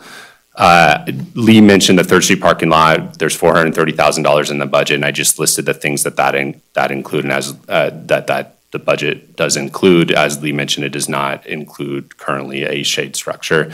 And then I just wanted to point out, I mean, there a part of the Third Street parking lot, um, we are there's some some large trees that have been around for a long time that we're proposing to to remove as part of that project. We did hire an arborist to assess those uh, many months ago, and it was recommended just looking at condition of the tree, um, remaining useful life that they they estimate, and just damage to the surrounding infrastructure is recommended to remove that. Um, but I did want to point out that you know there is some tree removals with that project, but we've also made a significant investment in the downtown corridor with planting of trees. They're going to take some time to grow that shade canopy. But I did point out that there is 150 trees that we plant with Carson Curry. So I think it's important to know for the public that, that we have made that investment. Um, just options, I'll run through them. You've seen them. Uh, this is concept one for Brewery Arts Centers. There's two options there. This is about $98,000, and this is that shade sail, the, the, fa the fabric uh, type canopy layout there. And again, this the the layout there was worked through with the BA, the Brewery Arts Center, with our design consultant. Moving on, very similar uh, location, but this is um, a, more of a, a, permanent type metal um, structure there, and of course the the cost is higher as well. So 152,000 is is what's considered with that option too. Um, Third Street parking lot. So this is a trellis type metal structure, and you can see some pictures there, some um, renderings, um, and it's kind of located in that central part of the parking lot. I think the the as far as the farmers market there, and as you, as far as their operations during the farmers market days, both here at the Third Street parking lot and um, if, if the Brewery Arts Center, they were to move there, although there is a letter with your packet from Brianna Coons at the farmers market.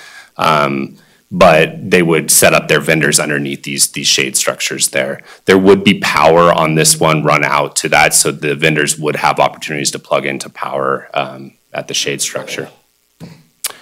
Um, McFadden Plaza, we considered two concepts. Again, the shade, the canopy fabric was not considered, but we did look at two metal trellis types. They're very, I mean, it's the same type, but it, one we considered half part of the if you, the eastern edge is a little bit more, there's not as much area there, so we wanted to look at an option of keeping that eastern half open. And then the western half where you have, you know, the, the splash pad and a little more open area, maybe putting something there. So that's this option for $55,600 estimate. And then the last option is basically taking that the full span of the plaza um, for about 87,000 there. So those are the three options, or five options, I guess, at three different locations. Happy to answer questions. Stacey? Um, I, just on, on those trellises, um, can they be oriented so that the, to maximize shade? I mean, I, I know it doesn't look like this, but can they, I mean, obviously the sun direction's generally south and west, and so can the, the individual louvers be oriented to, to maximize the amount of shade that it'll provide? I believe so. Yeah, I think that's definitely something that can be incorporated and would be. Well, let me follow up on that. I, the picture doesn't show what you're saying is that the slats would move. Yeah, In the, the structure footprint would stay the same. I think you're just talking about the slats would be oriented a Yeah, different to, direction. to be make able to more chill. shade. Yep. That- I mean, that's not shade where it shows. I mean, Yeah, but I think they could be. Right. Yeah. that's what I'm trying to, thank you. You have any more questions, Stacey? No. Lori?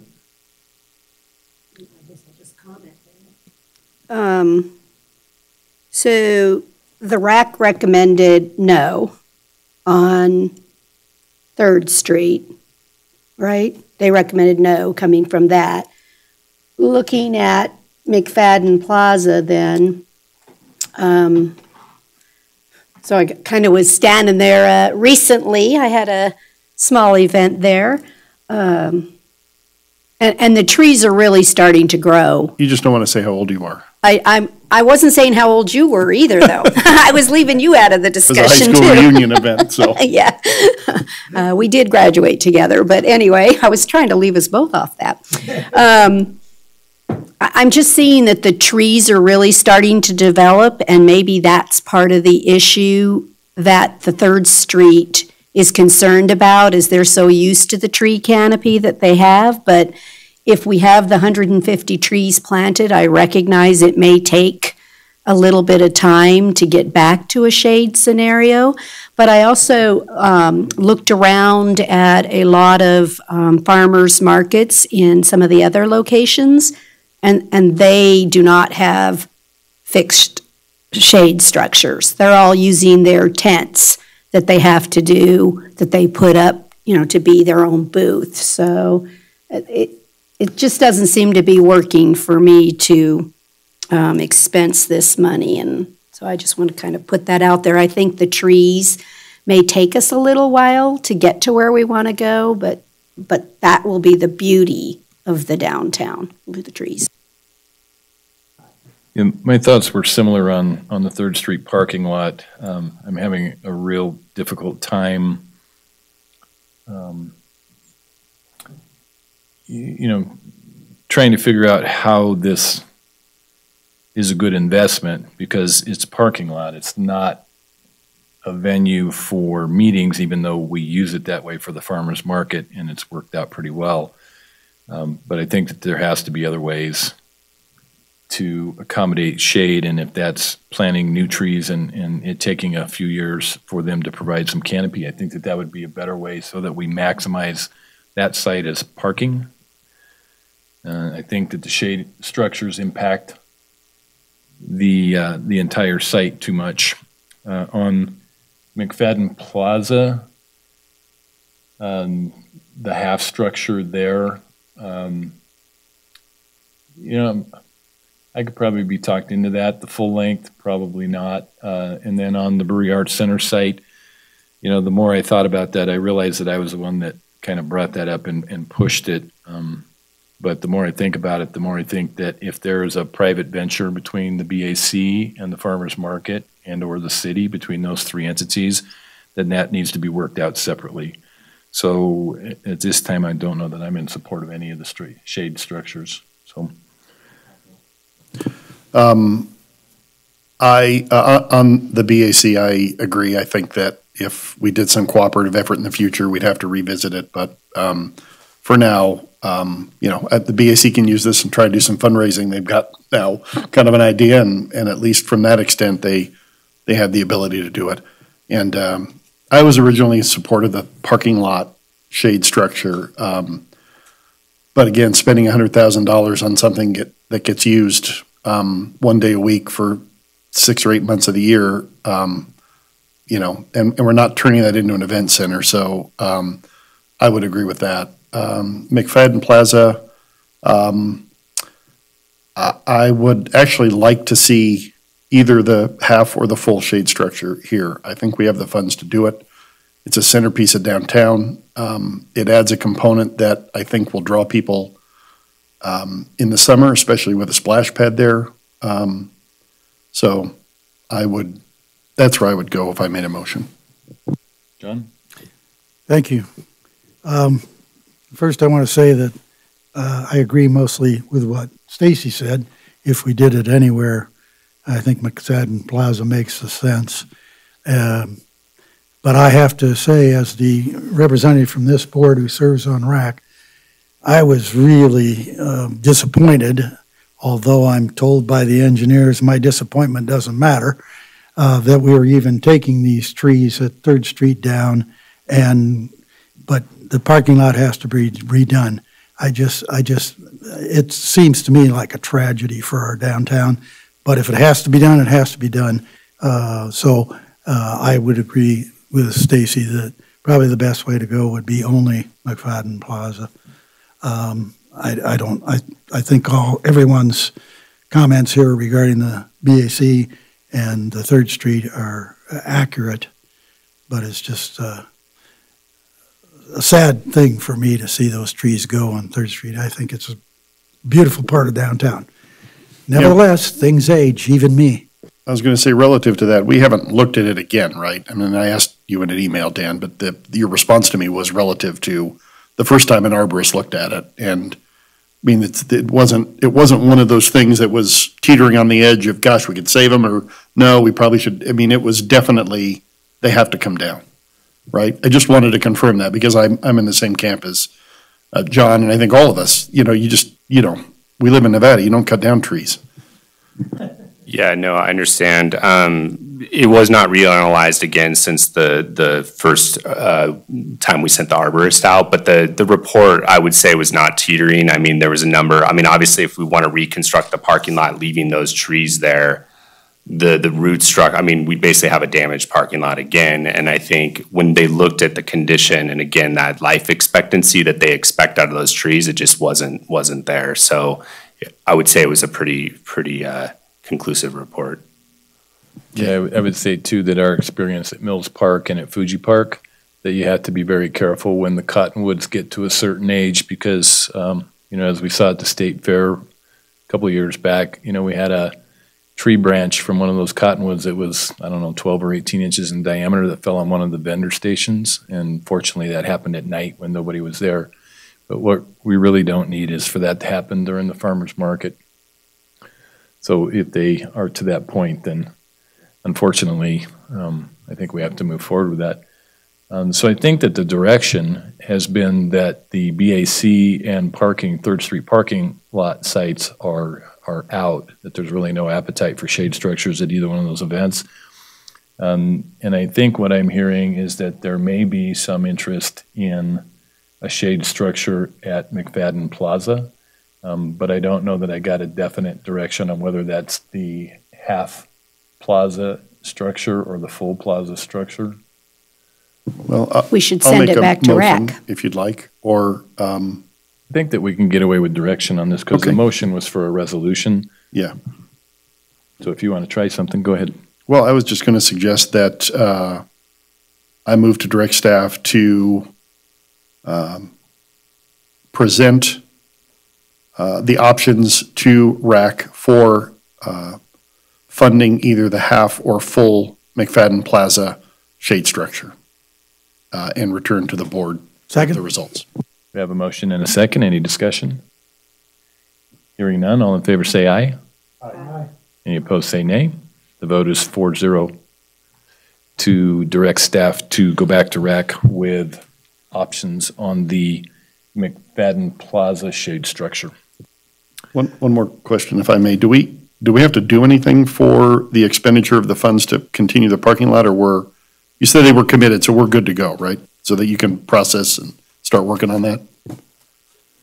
And one more question. uh, ahead, How, how high are these, the shade structures you showed us on the plaza?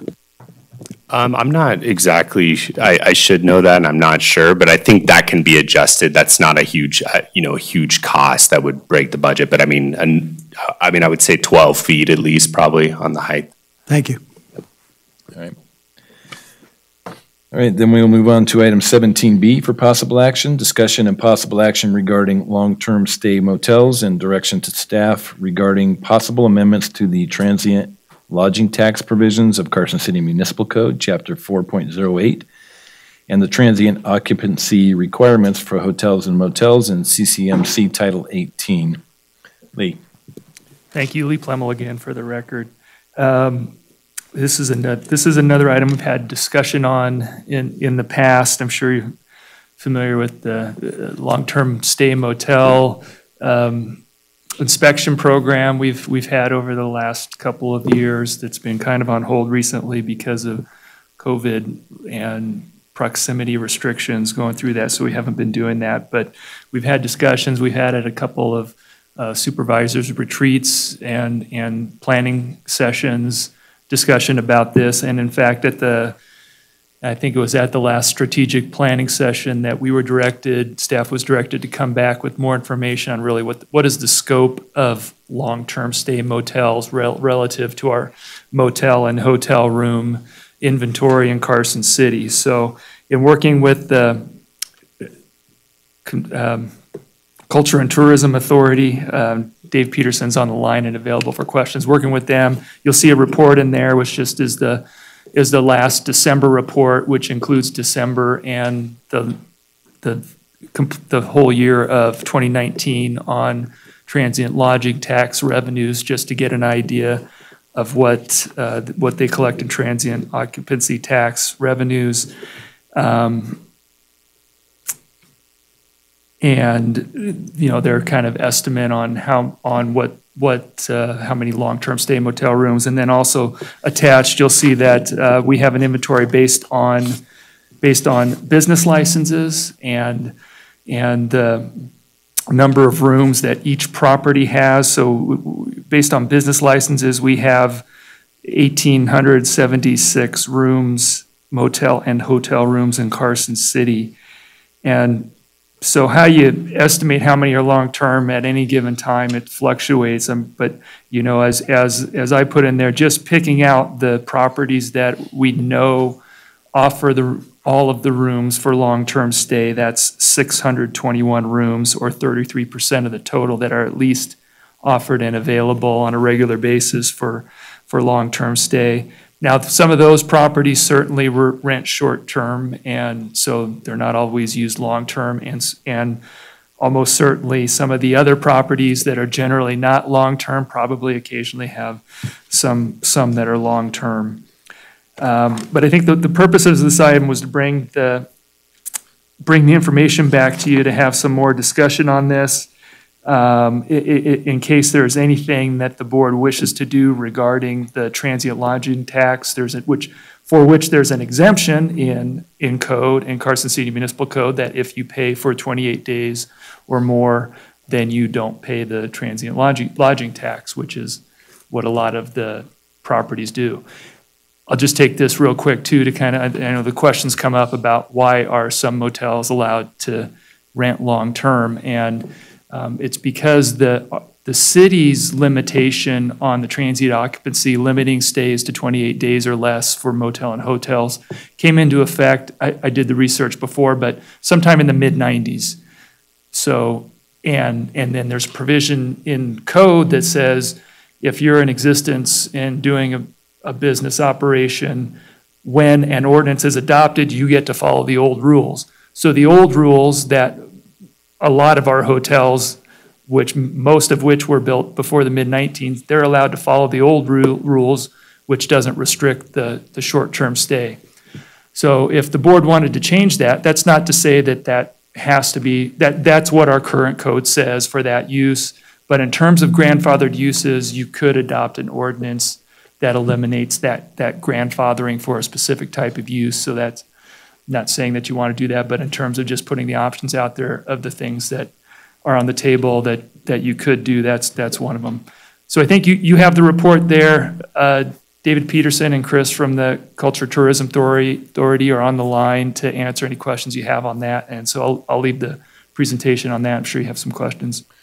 So I received quite a bit of comment on this particular item, and the comments focused generally in two areas. First, uh, on RV parks. Um, Got quite a bit of comment on RV parks, and um, the general consensus was that it would harm uh, tourism if we implement an 11% tax on RV stays. And then the second group of comments were on the low to moderate income uh, demographic uh, or even homeless demographic. And they're, um, they make up a large part of the population that are staying in these transient long-term stay rooms. And what happens to them when they're barely getting by and just living off of Social Security? And would that push those residents out onto the street. So that was the general consensus of, of all the comments that I got, so I'll open this up now for questions. We'll start with Stacey. Yeah, I, I had similar comments and um, I, I have similar feelings. At the same time, I, like you, am familiar with um, what some of the inside of these complexes look like. And, um, you know, I, I don't know that eliminating this is, will fix that, um, especially considering where the funds will go. Um, And I, and I don't think that we have the ability to change where the funds will go because it's set in state law. But I, I would like to ask Lee on the grandfathering part, because if, if, if we carry the theory out that an eleven percent increase will force people out of all of these, potentially at one time, um, and, and I could see that happening, maybe not everyone, but a high percentage. But if, if as as ownership changes, could, could it be tied to ownership? So in other words, if, if the, if property changed ownership, could they be uh, grandfathered out, so to speak? And at least then, maybe we'd have an opportunity to, on a case-by-case basis, ha- start to have these improve and, and turn into something better than they are now. So I, I guess that's a question. Yeah, I think, I think, wha- we would certainly want to consult with the district attorney's office on that, on the legality of how that would work. Um, But I would suggest it's not necessarily, that wouldn't necessarily be effective uh, because change of ownership, so, so as, as many recently, some of these motels have actually changed ownership.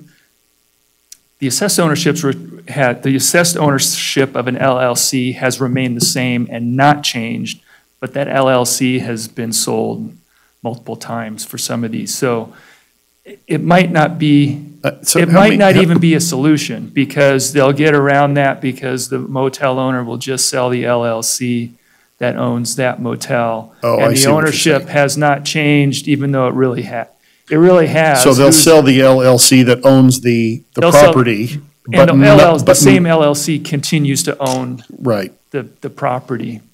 But it's, it's, it's a possible, it's a possible Well, way. We'd have to look and do further. I, I mean, I guess the, the other side to it is, because, because really what, what we're talking about is having livable conditions for people. I think that's what we've always been, I mean, that, that was my goal when I was in the fire department and, and, I- you know, so I, I guess, you know, do you feel like the city can make, I mean, I know the answer to this, but I, but I, I need to know if you feel like we can enforce it. I, I, mean, I feel like the rules are on the books to force them to comply, absent this changing LLC thing, which is like a dog chasing its tail. I mean, we're never going to catch it. Um, But by the same token, I don't know that we've been as hard as we can be um, in terms of even shutting a place down if it reaches a level of unsafety that, that it is flat out unsafe. Um, So I, I honestly think we've been probably nicer than we need to be. Um, And if we really are serious about cleaning this up, then I think we can be stricter on the rules and not mess with the eleven percent. So And I'd I like would- to hear what you think about that. Yes, and I, I, I w- I would agree with that. I think we are, I, think we were getting to the point where we're being strict. I think we have, through the program that, you know, that we've talked and you've authorized, made improvements. I think you can see improvements to some of the properties. I, I think it's really unfortunate right now that we can't continue to go out into all the rooms. Um, But I think the program was working. I think we put pressure on, I think the, the program caused pressure on some property owners to sell and get out and get some fixed up. So I think, I think if, if I was making a recommendation, I mean, I, th- I think that's at, at least what we want to continue doing and to continue with the affirmation that in strictly enforcing the, the building code and fire code laws and getting as many inspections as possible is the way to go forward. I would um, say that, you know, I, I originally brought this item years ago to do exactly what Stacey just discussed, which is we want to improve the living conditions for the people that are, that are there. And, and I think that that's our job. We cannot, I don't think we should allow unsafe conditions in these motels. But one of the things, we're in the process of, you know, rewriting our codes and things. And so maybe I would ask that we look at where are we too lax in the code? Because the one problem that I had with all the inspections is it takes a long time to effectuate the change. And so if there's something that we could actually do in our code to give them the right to correct, I mean, I want to do that to say, okay, we've noticed you've got this error and you get so many days to correct. What I'd like to do though is see if there's anything we can do to speed up once we've identified a, um, an issue at a particular location so that it doesn't take two years to accomplish the remediation. So I would say that I'm not interested in doing the removal on the tax. Um, but the way that you would maybe not have to worry about ownership or anything else, because it wouldn't matter who owned it, you can condemn a room, which takes that room out of their, maybe, right? Takes the room out of their uh, getting money at all, which would incentivize them to more quick, oh, I got to bring that room back, back into the rent uh, thing. So I would suggest that we look at any opportunity we can within our own codes to strengthen our ability to improve those living conditions. So can I? Can Thank you. I, I agree with what Stacey and Lori said, but I, John, hold up just a second. Let me- Lee answer Lori, and then we'll go to your question. Thanks. I'll, I'll think, sorry, Supervisor Barrette, I'll, I'll forget the question if it gets too long. The, uh, so regarding, I, I think, right now, we're updating Title 18 development standards, we have building codes. I don't think those codes are too lax. Um, They're there, you know, I think as Supervisor Giomi said, if we enforce those codes, um, we, we could, we could get significant improvements. I think we're, you know, a couple things you're talking about is just our resources to, number one, to be able to get enough people to go and get through the process. And then secondly, it's that enforcement process, which is not Title 18, but other, other parts of the code that I know that, that in talking with Dan on other things, you know, definitely needs to be cleaned up as we move forward with Title 18 and the process is clarified and, and those things. So as, uh, point, point taken on that, and, and we will continue to work towards that. Thank you.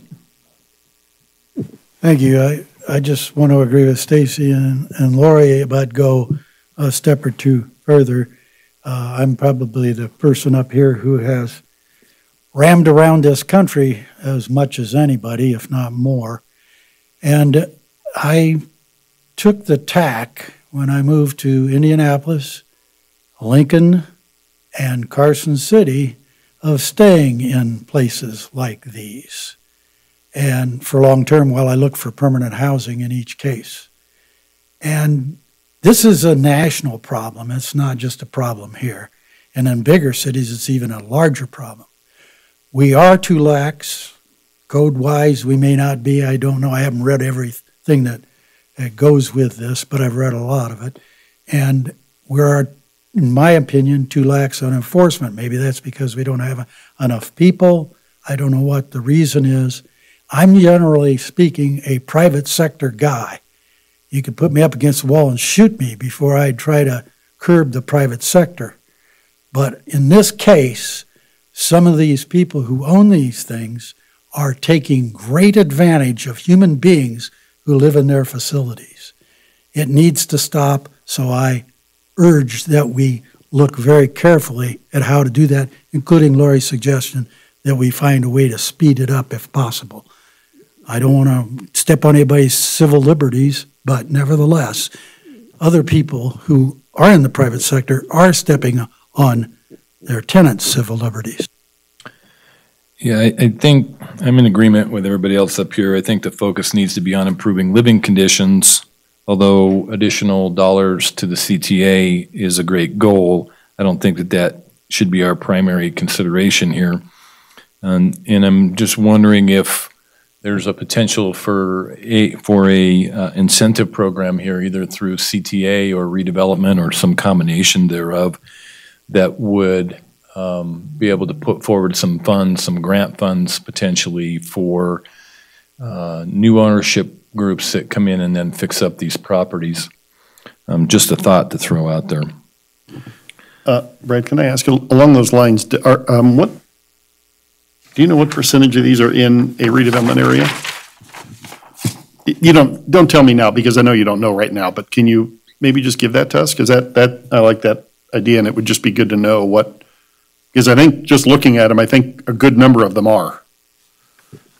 Right. Are, Or, all yeah. of them within, you know, let's say south of John Street through the, through the downtown corridor and all the way south down Carson Street are in redevelopment districts and would be eligible now for up to twenty-five thousand dollars in facade improvement money to do exterior facade improvements.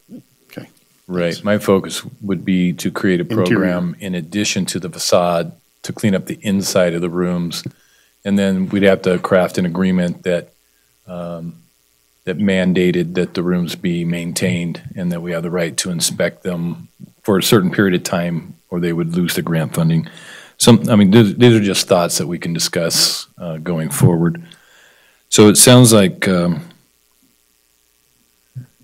I don't know, have we given you enough direction, Lee? This, this item doesn't require a motion, so. Yes, thank you. Um, And then on the phone, uh, if there's any additional comments from anybody on the phone? I see no one on the line. Okay. Or, Or or through uh, WebEx. David Peterson with uh, CTA, do you have any, anything to add?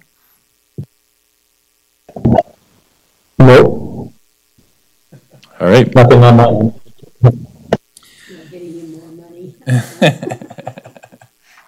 Okay, thank you, David. All right, uh, then if you have enough direction, Lee, then uh, we will move on to item 17C for possible action, discussion and possible action regarding a proposed emergency ordinance establishing provisions extending the period of use of a storage container or metal storage container under certain circumstances. Pursuant to Article 2 of the Carson City Charter, this ordinance must be adopted by a unanimous vote of the Board of Supervisors since it is an emergency declaration. Lee? Thank, thank you. I, I would say this, this ordinance isn't a quote-unquote emergency, but it is being adopted under emergency provisions. So that's what, meaning that uh, time, the time frame is, is short, and we, we need to get it adopted soon to, uh, to amend the requirements regarding storage containers. So as, you- as I've previously been before you, we've adopted a policy requiring um, or allowing outdoor uses, um, dining and retail uses, and in conjunction, and probably more importantly, we have the state governor uh, directives that are requiring, you know, limiting capacity in restaurants in particular and other types of businesses so that uh, tables and things are needing to be cleared out to make more room within them. And this has led to the need for the use of temporary storage containers for those items that are needing to be removed from the interior of buildings. This ord, um, presently, we can administratively allow this for up to 90 days. We anticipate that some businesses are going to need them for 90 days. And we're proposing that we allow them for more 90 days, more than 90 days during the emergency administratively. Alternatively, as the code's written, many of these businesses would then have to get a special use permit, which is a fee and application, uh, planning commission item, and, and we just don't think that's necessary. I mean, just during this emergency, and we'd uh, recommend adopting this ordinance that allows us to authorize them administratively during this period and subject to all the other existing uh, storage container standards that are already in the code. Questions? Yes. John? Thank you. Um, Reading this ordinance, it says a storage container or metal storage container that is approved for an extended use in accordance with this section must be removed not later than 90 days after the date on which the extended use expires. Uh, If I understand this, that extended use would expire uh, when the governor uh, lifts his um, emergency. Is that correct? That's the intent, correct? So you want to give them another 90 days? Why not 45 days? It just So- doesn't make a lot of sense to be 90 days, seems to me. The 90 days was only uh, recommended because that's the current amount of time that they can have it administratively under the current you, current laws. I understand that, but they're going to have it for maybe 212 days. I'm just making that up. So another 90 days? It doesn't make sense to me. Just bringing that out. Any other comments or questions? Um, Go ahead, Lori. I I think uh, John brings up a good point of, of how long is a reasonable time for them? And that's the real question, right? What's, what's the reasonable time once they get the drop dead date that, okay, the extended use is over, how long would it take them? I'm going to bet most of the ones that are having to use it because they had to reduce their restaurant size by 50% capacity. I don't think it's going to take them very long because they're going to want to go back to 100% capacity. So I think it'll have a natural uh, removal of those storage sheds anyway. But do we want to allow 90 days? Does it, does it take that long? I, I just am not in that business to know. I, you know, I, I think we're overthinking this. The, the, you know, the code, current code gives them 90 days. Uh, Is it really that big a deal to give them 90 days? Uh, you know, we, none of us are in the restaurant business, um, anymore, anymore. Um, you know, so, I mean, I, I don't know that we know how difficult things are gonna be when the emergency actually ends and how quick people are gonna be able to get it back in. Uh, It's already in the code. It just seems like a simple number to me. Well, and I think if you take it beyond restaurants, um, there are department stores or furniture stores or other types of retail stores that had to move out a lot of their inventory. And so now that inventory is in storage. When the emergency declaration ends, they not only need to remove whatever barriers they have in their retail brick and mortar location, then reconfigure, maybe bring in storage shelves or other uh, reconfiguration of their retail space and then bring that inventory in. And they may not be able to bring all that inventory in immediately. They may have to phase bringing that inventory back in. Um, So for that reason, I, I don't know that it's the end of the world, whether it's 30 days, 45 days, or 90 days. Um, You know, so I guess uh, I would rather err on the side of caution. Uh, If they're out there on commercial locations for, as John said, 212 days, then do we care if they're out there for another 30 days or 90 days? They're, they've already been there, so people have already seen them. So maybe we are overthinking it.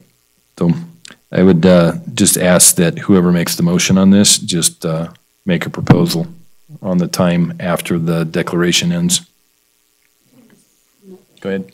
Um, Sorry, I didn't ask in advance, Lee, so you can look it up. Can, can you tell me how many current uh, of these storage container applications you've approved in the 90-day? How many do we have? How many of the 90-day ones do we have? Uh, Well, there's been uh, two, two so far. Well, then 90 days isn't a problem. Thanks for everyone pointing out I overthought it. Uh, I move to adopt uh, Bill number 113, ordinance number 2020-12, a proposed emergency ordinance establishing provisions extending the period of use of a storage container or metal storage container under certain circumstances, and as presented on the record. We have a motion and a second. Any final discussion? Hearing none, all in favor say aye. Aye. Opposed, nay. All right, the motion passes 4-0. Thank you. We are now on item 18A. And on this item, we have some disclosures to read, and then I will introduce the item. We'll start with Supervisor Giomi. NRS 281A.420 requires me to disclose a conflict of interest and abstain from voting when I have a disqualifying conflict. In my private commitment, I am employed by Nevada Health Centers, a nonprofit organization which applied and is recommended for CDBG funding under this agenda item. In my private commitment, I have a fiduciary duty and a substantial and continuing business relationship with my employer. Although the recommended funding amounts under this item are submitted by the application review work group without my involvement, this board may choose to accept, deny, or modify those recommendations based on the judgment of a reasonable person in my position uh, would be materially affected by this employer or employee relationship. I will not be voting on this matter.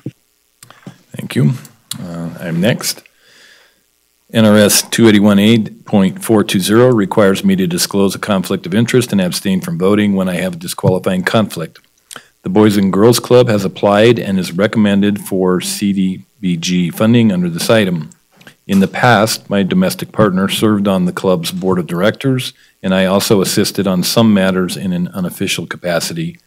My domestic partner resigned from her seat on the board of directors, and neither she nor I have any further commitment in a private capacity to the Boys and Girls Club.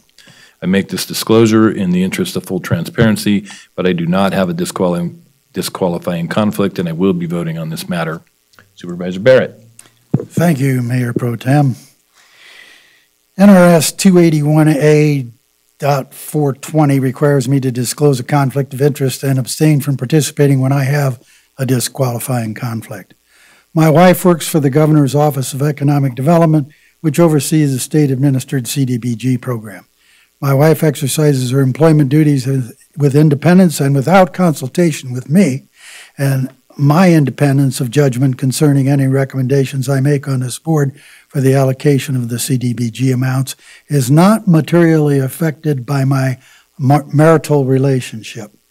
And although her employee oversees the CDBG program and she handles that, my wife has no influence or interest in how Carson City allocates its CDBG funding. I make this disclosure in the interest of full transparency, but because the matter before me today is not affected by my relationship and is therefore not a disqualifying conflict, I will participate and vote on the matter. Thank you, John. So we're on agenda item 18A for possible action, discussion and possible action regarding an allocation of up to $283,213 of Community Development Block Grant Coronavirus Funding for fiscal year 2021. Mirjana. Good morning. Uh, For the record, my name is Mirjana Gavric, Grants Administrator for Carson City. This agenda item is to approve the CARES Act for Community Development Block Grant Programs Coronavirus Response Grant, referred to as CDBG CV, a new grant for all of us. Um, The CDBG CV funding for Carson City for fiscal year 2021 is recommended by the Application Review Work Group and subject to approval from the Board of Supervisors and for the uh, fiscal year 2021 budget. Um, The Nevada Governor's Office of Economic Development staff have provided CDBG CV funds for the prevention and response to the spread of coronavirus. The CDBG CV amount granted to Carson City for fiscal year 2021 is $283,213. A maximum of 10% of this funding is allowed for administration, which is 28,322. Staff anticipates spending the total amount allowed for administrative costs. No other caps have been placed on the CDBG CV expenditures. Carson City placed advertisements for the funding opportunity and received four applications for public service programs for total request of $2,008,682. The total amount of applications for funding is less than the amount available for CDBG, CDBG CV. Staff formed a community-based application review work group known as ARWG to evaluate and rank the applications and to make funding recommendations based on both meeting the CDBG, CDBG national objectives and the community priorities. The ARWG conducted a phone meeting on August 7th, 2020, and recommends full allotment or full allocation of funds to the applications that were received. So I'm going to go over the applications that were received. Number one, the Boys and Girls Club of Western Nevada requested $79,826 to expand their daycare program to observe COVID 19 social distancing and sanitation measures. Number two, St. Vincent de Paul requested $20,080 to supply, for supplies, cleaning supplies, sanitation supplies, and for individual sleeping bags to support the Nights Off the Street Warming Shelter. Number three, let's see, the Nevada Health Center uh, requested $57,191 to convert the Sierra Nevada Health Center parking area into a COVID-19 screening and testing area. And this, lastly, the Spirit of Hope uh, requested 51,582 or $585 for a transportation van for safe client transportation to again observe COVID-19 restrictions. Staff is requesting the $2008, 2008 $682 be allocated to these public service projects for COVID-19 as recommended by the ARWG. The amount of $46,209 not funded in this round is being advertised alongside the regular CDBG 2021 cycle for a second round of distribution. If approved, staff will forward the final uh, approved recommendations to the Nevada Governor's Office of Economic Development for their consideration and allocation of the CDBG CV funds. So thank you for your consideration of this request. Questions? Go ahead, Lori. Good morning. Good morning. Um, was this additional funding, because I see it's got dash CV, um, did it have different requirements than the standard CDBG? And what is the grant period on this? The, the grant period is one year, and the rec, um, the requirements were, are in your, um, I miss it? yeah, memorandum. They're at the back, and there are, um, one, two, three, four sections regarding the requirements. Some of the requirements are different. Uh, obviously, everything needs to be related to coronavirus prevention in terms of this funding. So my, my question comes from, I'm um, looking at the review group that was assembled to do this, and I noticed that one of them was um, a member from Ron Wood Family Resource Center. Correct. Would they not have been eligible to apply? So I just, I just wonder why we would have someone that's eligible to apply sit on a review group. I did ask if she was going to apply, or Joyce uh, Buckingham, who's executive director, I did ask her if she was going to apply, and she said she was not going to apply. So we had that conversation. So she was not interested in applying for this funding. They had received, they have received other state funding. It's just a thought process, but Sure. generally speaking, they do receive a lot of city grant funding, so I just, okay. Um, but I noticed too that it indicates you're gonna put the 46,209 that's remaining up into the next round, so I was looking at the specific grant period. So is that only gonna give somebody, when, when did the grant date start? This isn't a backwards one to March? No, to- so according to Jean um, Barrette from um, the Office of Economic? Development, yes. Um, The grant period starts when the MOU is signed. So you have a year from the point that the MOU is signed to use the funding, so it doesn't back up. So for instance, hopefully these MOUs will be signed in the next week or so, and then there, that period will start a year from there. So they've got about a year to use it. So you're saying the grant of the 46,209 will be one year from that MOU? That's what I understand. Wow, that's, Mm-hmm. that's unusual, that's, that's good news. Okay, thank you. Thank you for those questions, Lori, because it points out that it was the review group on the local level that did this, and my spouse actually just gave technical ad- uh, advice on when it all started and ended. She did. So although the 40, I believe it was $46,209 will be advertised along the regular CDBG funding, the parameters of the grant are separate, so we'll have to do separate awards. Yes, Okay, everything's separate, correct. so it'll be multiple awards from different pots of money, and that'll be made clear in the, in the grant uh, application advertising. Yeah, I won't be advertising them together. I'll just, well, I've already advertised, but basically, it's two different advertisements, just at the same time frame. Right. So we've already started advertising for CDBG, C- CDBG 2021, the regular CDBG, and I've started advertising for the 46 46,000 as well. So Thank you. Any additional questions? Okay, all right, then I'll bring this back and uh, accept the motion. I move to approve the grant funding as recommended. We have a motion and a second. Any discussion? Seeing none, all in favor say aye. Aye. Any opposed say nay. So the vote is three zero one to approve. Thank you all for that. thank you. We're now on agenda item 19, Board of Supervisors. Non-action items, future agenda items, review of projects, internal communications, correspondence. Nancy? Stephanie? Stephanie has some to start. Sorry. Thank you. For the record, Stephanie Hicks, Deputy City Manager. I just wanted to bring a quick update to the board about the Stewart Roundabout. Um, As you know, the South Carson Street project is on schedule.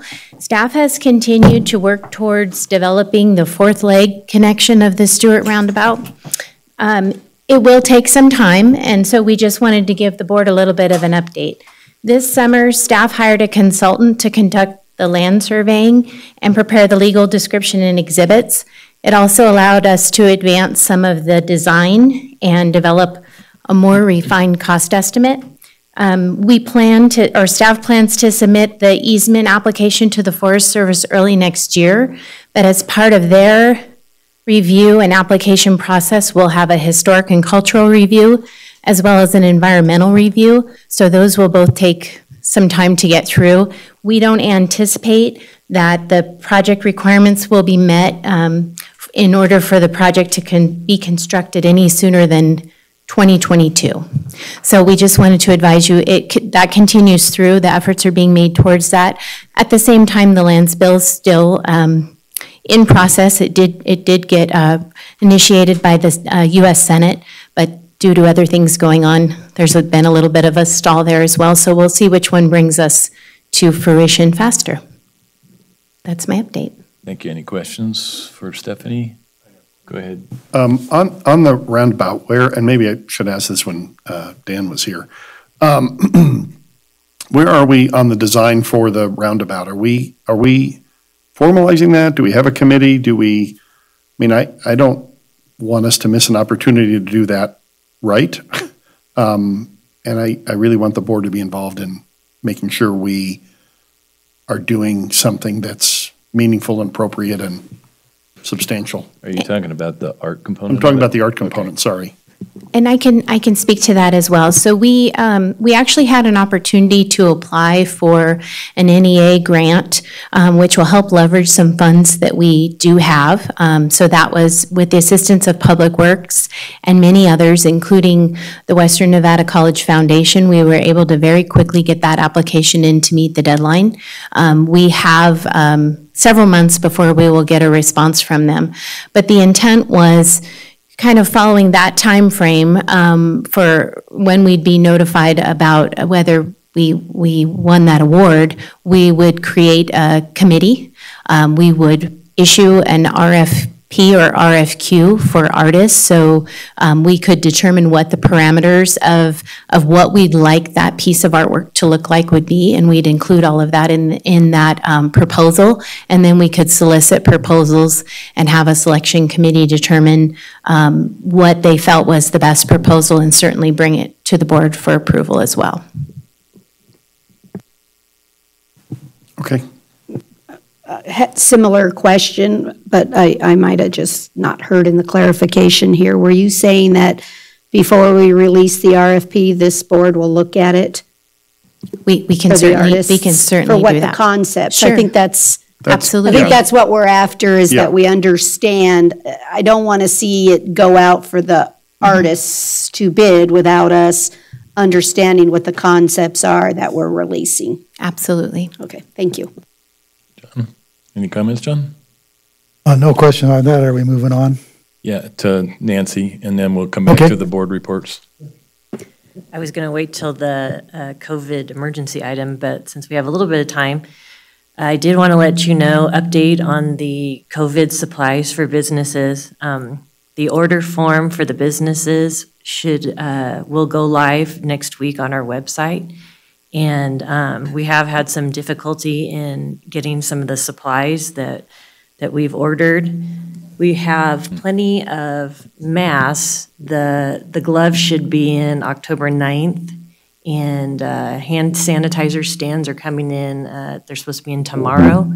And then um, the hand sanitizer itself uh, on September 25th. We still haven't been able to get a hold of any of this, like the Lysol sanitizing wipe. so we'll still work on that. So, um, so once we see what items are being requested, then we're gonna go right ahead and start ordering more so that, you know, we don't have another lag time, so. Any questions for Nancy? Nope. All right, then, uh, future agenda items? Nancy? No, nothing. Okay. All right, then, uh, board reports. We'll start with you, John. Okay, last night, uh, at a distance, the airport authority met. Um, Steve Lewis is in process of selling his FBO out at the airport to uh, TCE LLC and some developers who have uh, interest in Reno, Florida, and Springfield, Illinois, my state of birth. Uh, we also are, are authorizing purchase of a vehicle for the airport. And uh, we're going to be doing appraisals on certain properties that we would like to get uh, leased or, or out uh, for economic development, sort of the way the NNDA does for their getting things prepared so that there's not a long time frame. That appraisal will last about six months, and then we have a um, contract uh, to uh, have them updated in the next six months if they're necessary, if it goes beyond that, because state law requires that. That's the airport authority last night. Lori? Um, I don't know if any of the rest of you are getting phone calls or anything on the speed limits at the school districts. Um, so I want to just let the public know that, yes, we adopted a speed limit policy. And so many of the schools are going Monday through Friday, seven to four. Um, if you have issues with that, please contact Lucia Maloney with the transportation um, part of Public Works. She's our transportation manager because she'll be keeping those public comments so that when we come back to review in a year, we can see if we made a good decision or not on the um, time frames and the notes. So I don't know about the rest of you, but I've gotten quite a few calls on Eagle Valley uh, School. Yeah, mine was on King and Mountain, as you might guess. Um, The uh, Carson Water Subconservancy District met last night. I don't know if Brad has an update, but I was just going to share that uh, we've got a very talented, the the CWSD is a very talented staff member who is using a drone to do some high-level mapping of structures and inventories along the river. Um, And he's producing some really good historical information, taking historical photos, overlaying current um, uh, current river uh, tract and uh, mapping, you know, loss of land due to river erosion. Um, It's quite impressive work. And as I was thinking about that last night, I know that we have um, pictometry at the district, at the uh, assessor's office. And um, I thought there might be some relationship there that we could tie those two together because pictometry does, or has the ability to do land measurements from their aerial photographing. So um, I'll try and put those two in touch. Um, And then I've just handed to board members, and I- I'll let staff see this, but what you're looking at, there's a picture here. Um, It is the new Kit Carson Trail markers. Um, These are being uh, crafted by Prison Industries. Uh, The one you see there is just, it's not placed. I was placed there for a photograph. But the medallion is a Datsolalee basket. Um, Those were the medallions that Public Works saved from the embedded in the concrete. And then um, they, uh, each site will have a number, as you see the number one. um, And then the year at the bottom is the year that structure was erected. So uh, each one of, there's 40 some odd of these. Um, We hope to have them in place uh, with cooperation of Public Works um, we being the CTA, uh, by the end of December. Um, And so maybe next spring, when things are a little more normal, we'll have uh, some sort of a kickoff, but we might do a ribbon cutting of some sort.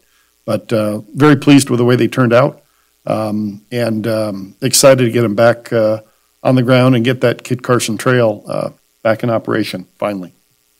That's This it one for me. looks great. Stacey, is that, that's the old blue line, right? The old And blue we've- line, correct. Just so that Yeah, the yeah. public. Yep, so the people who know it is the old blue line and, um, yeah, the Kit Carson Trail. And, and we do have a lot of historic structures in town that, um, this will give you an opportunity to walk around downtown with, uh, you know, pamphlet reading material and, um, and get some information on each of those structures. So plus it's a nice little walk. And- And are they doing it on the application, on an app also? where Um, can- we haven't not developed that yet, but, um, I suspect that's something that we might be able to work on, uh, geosync it, but I think that'll be down the road.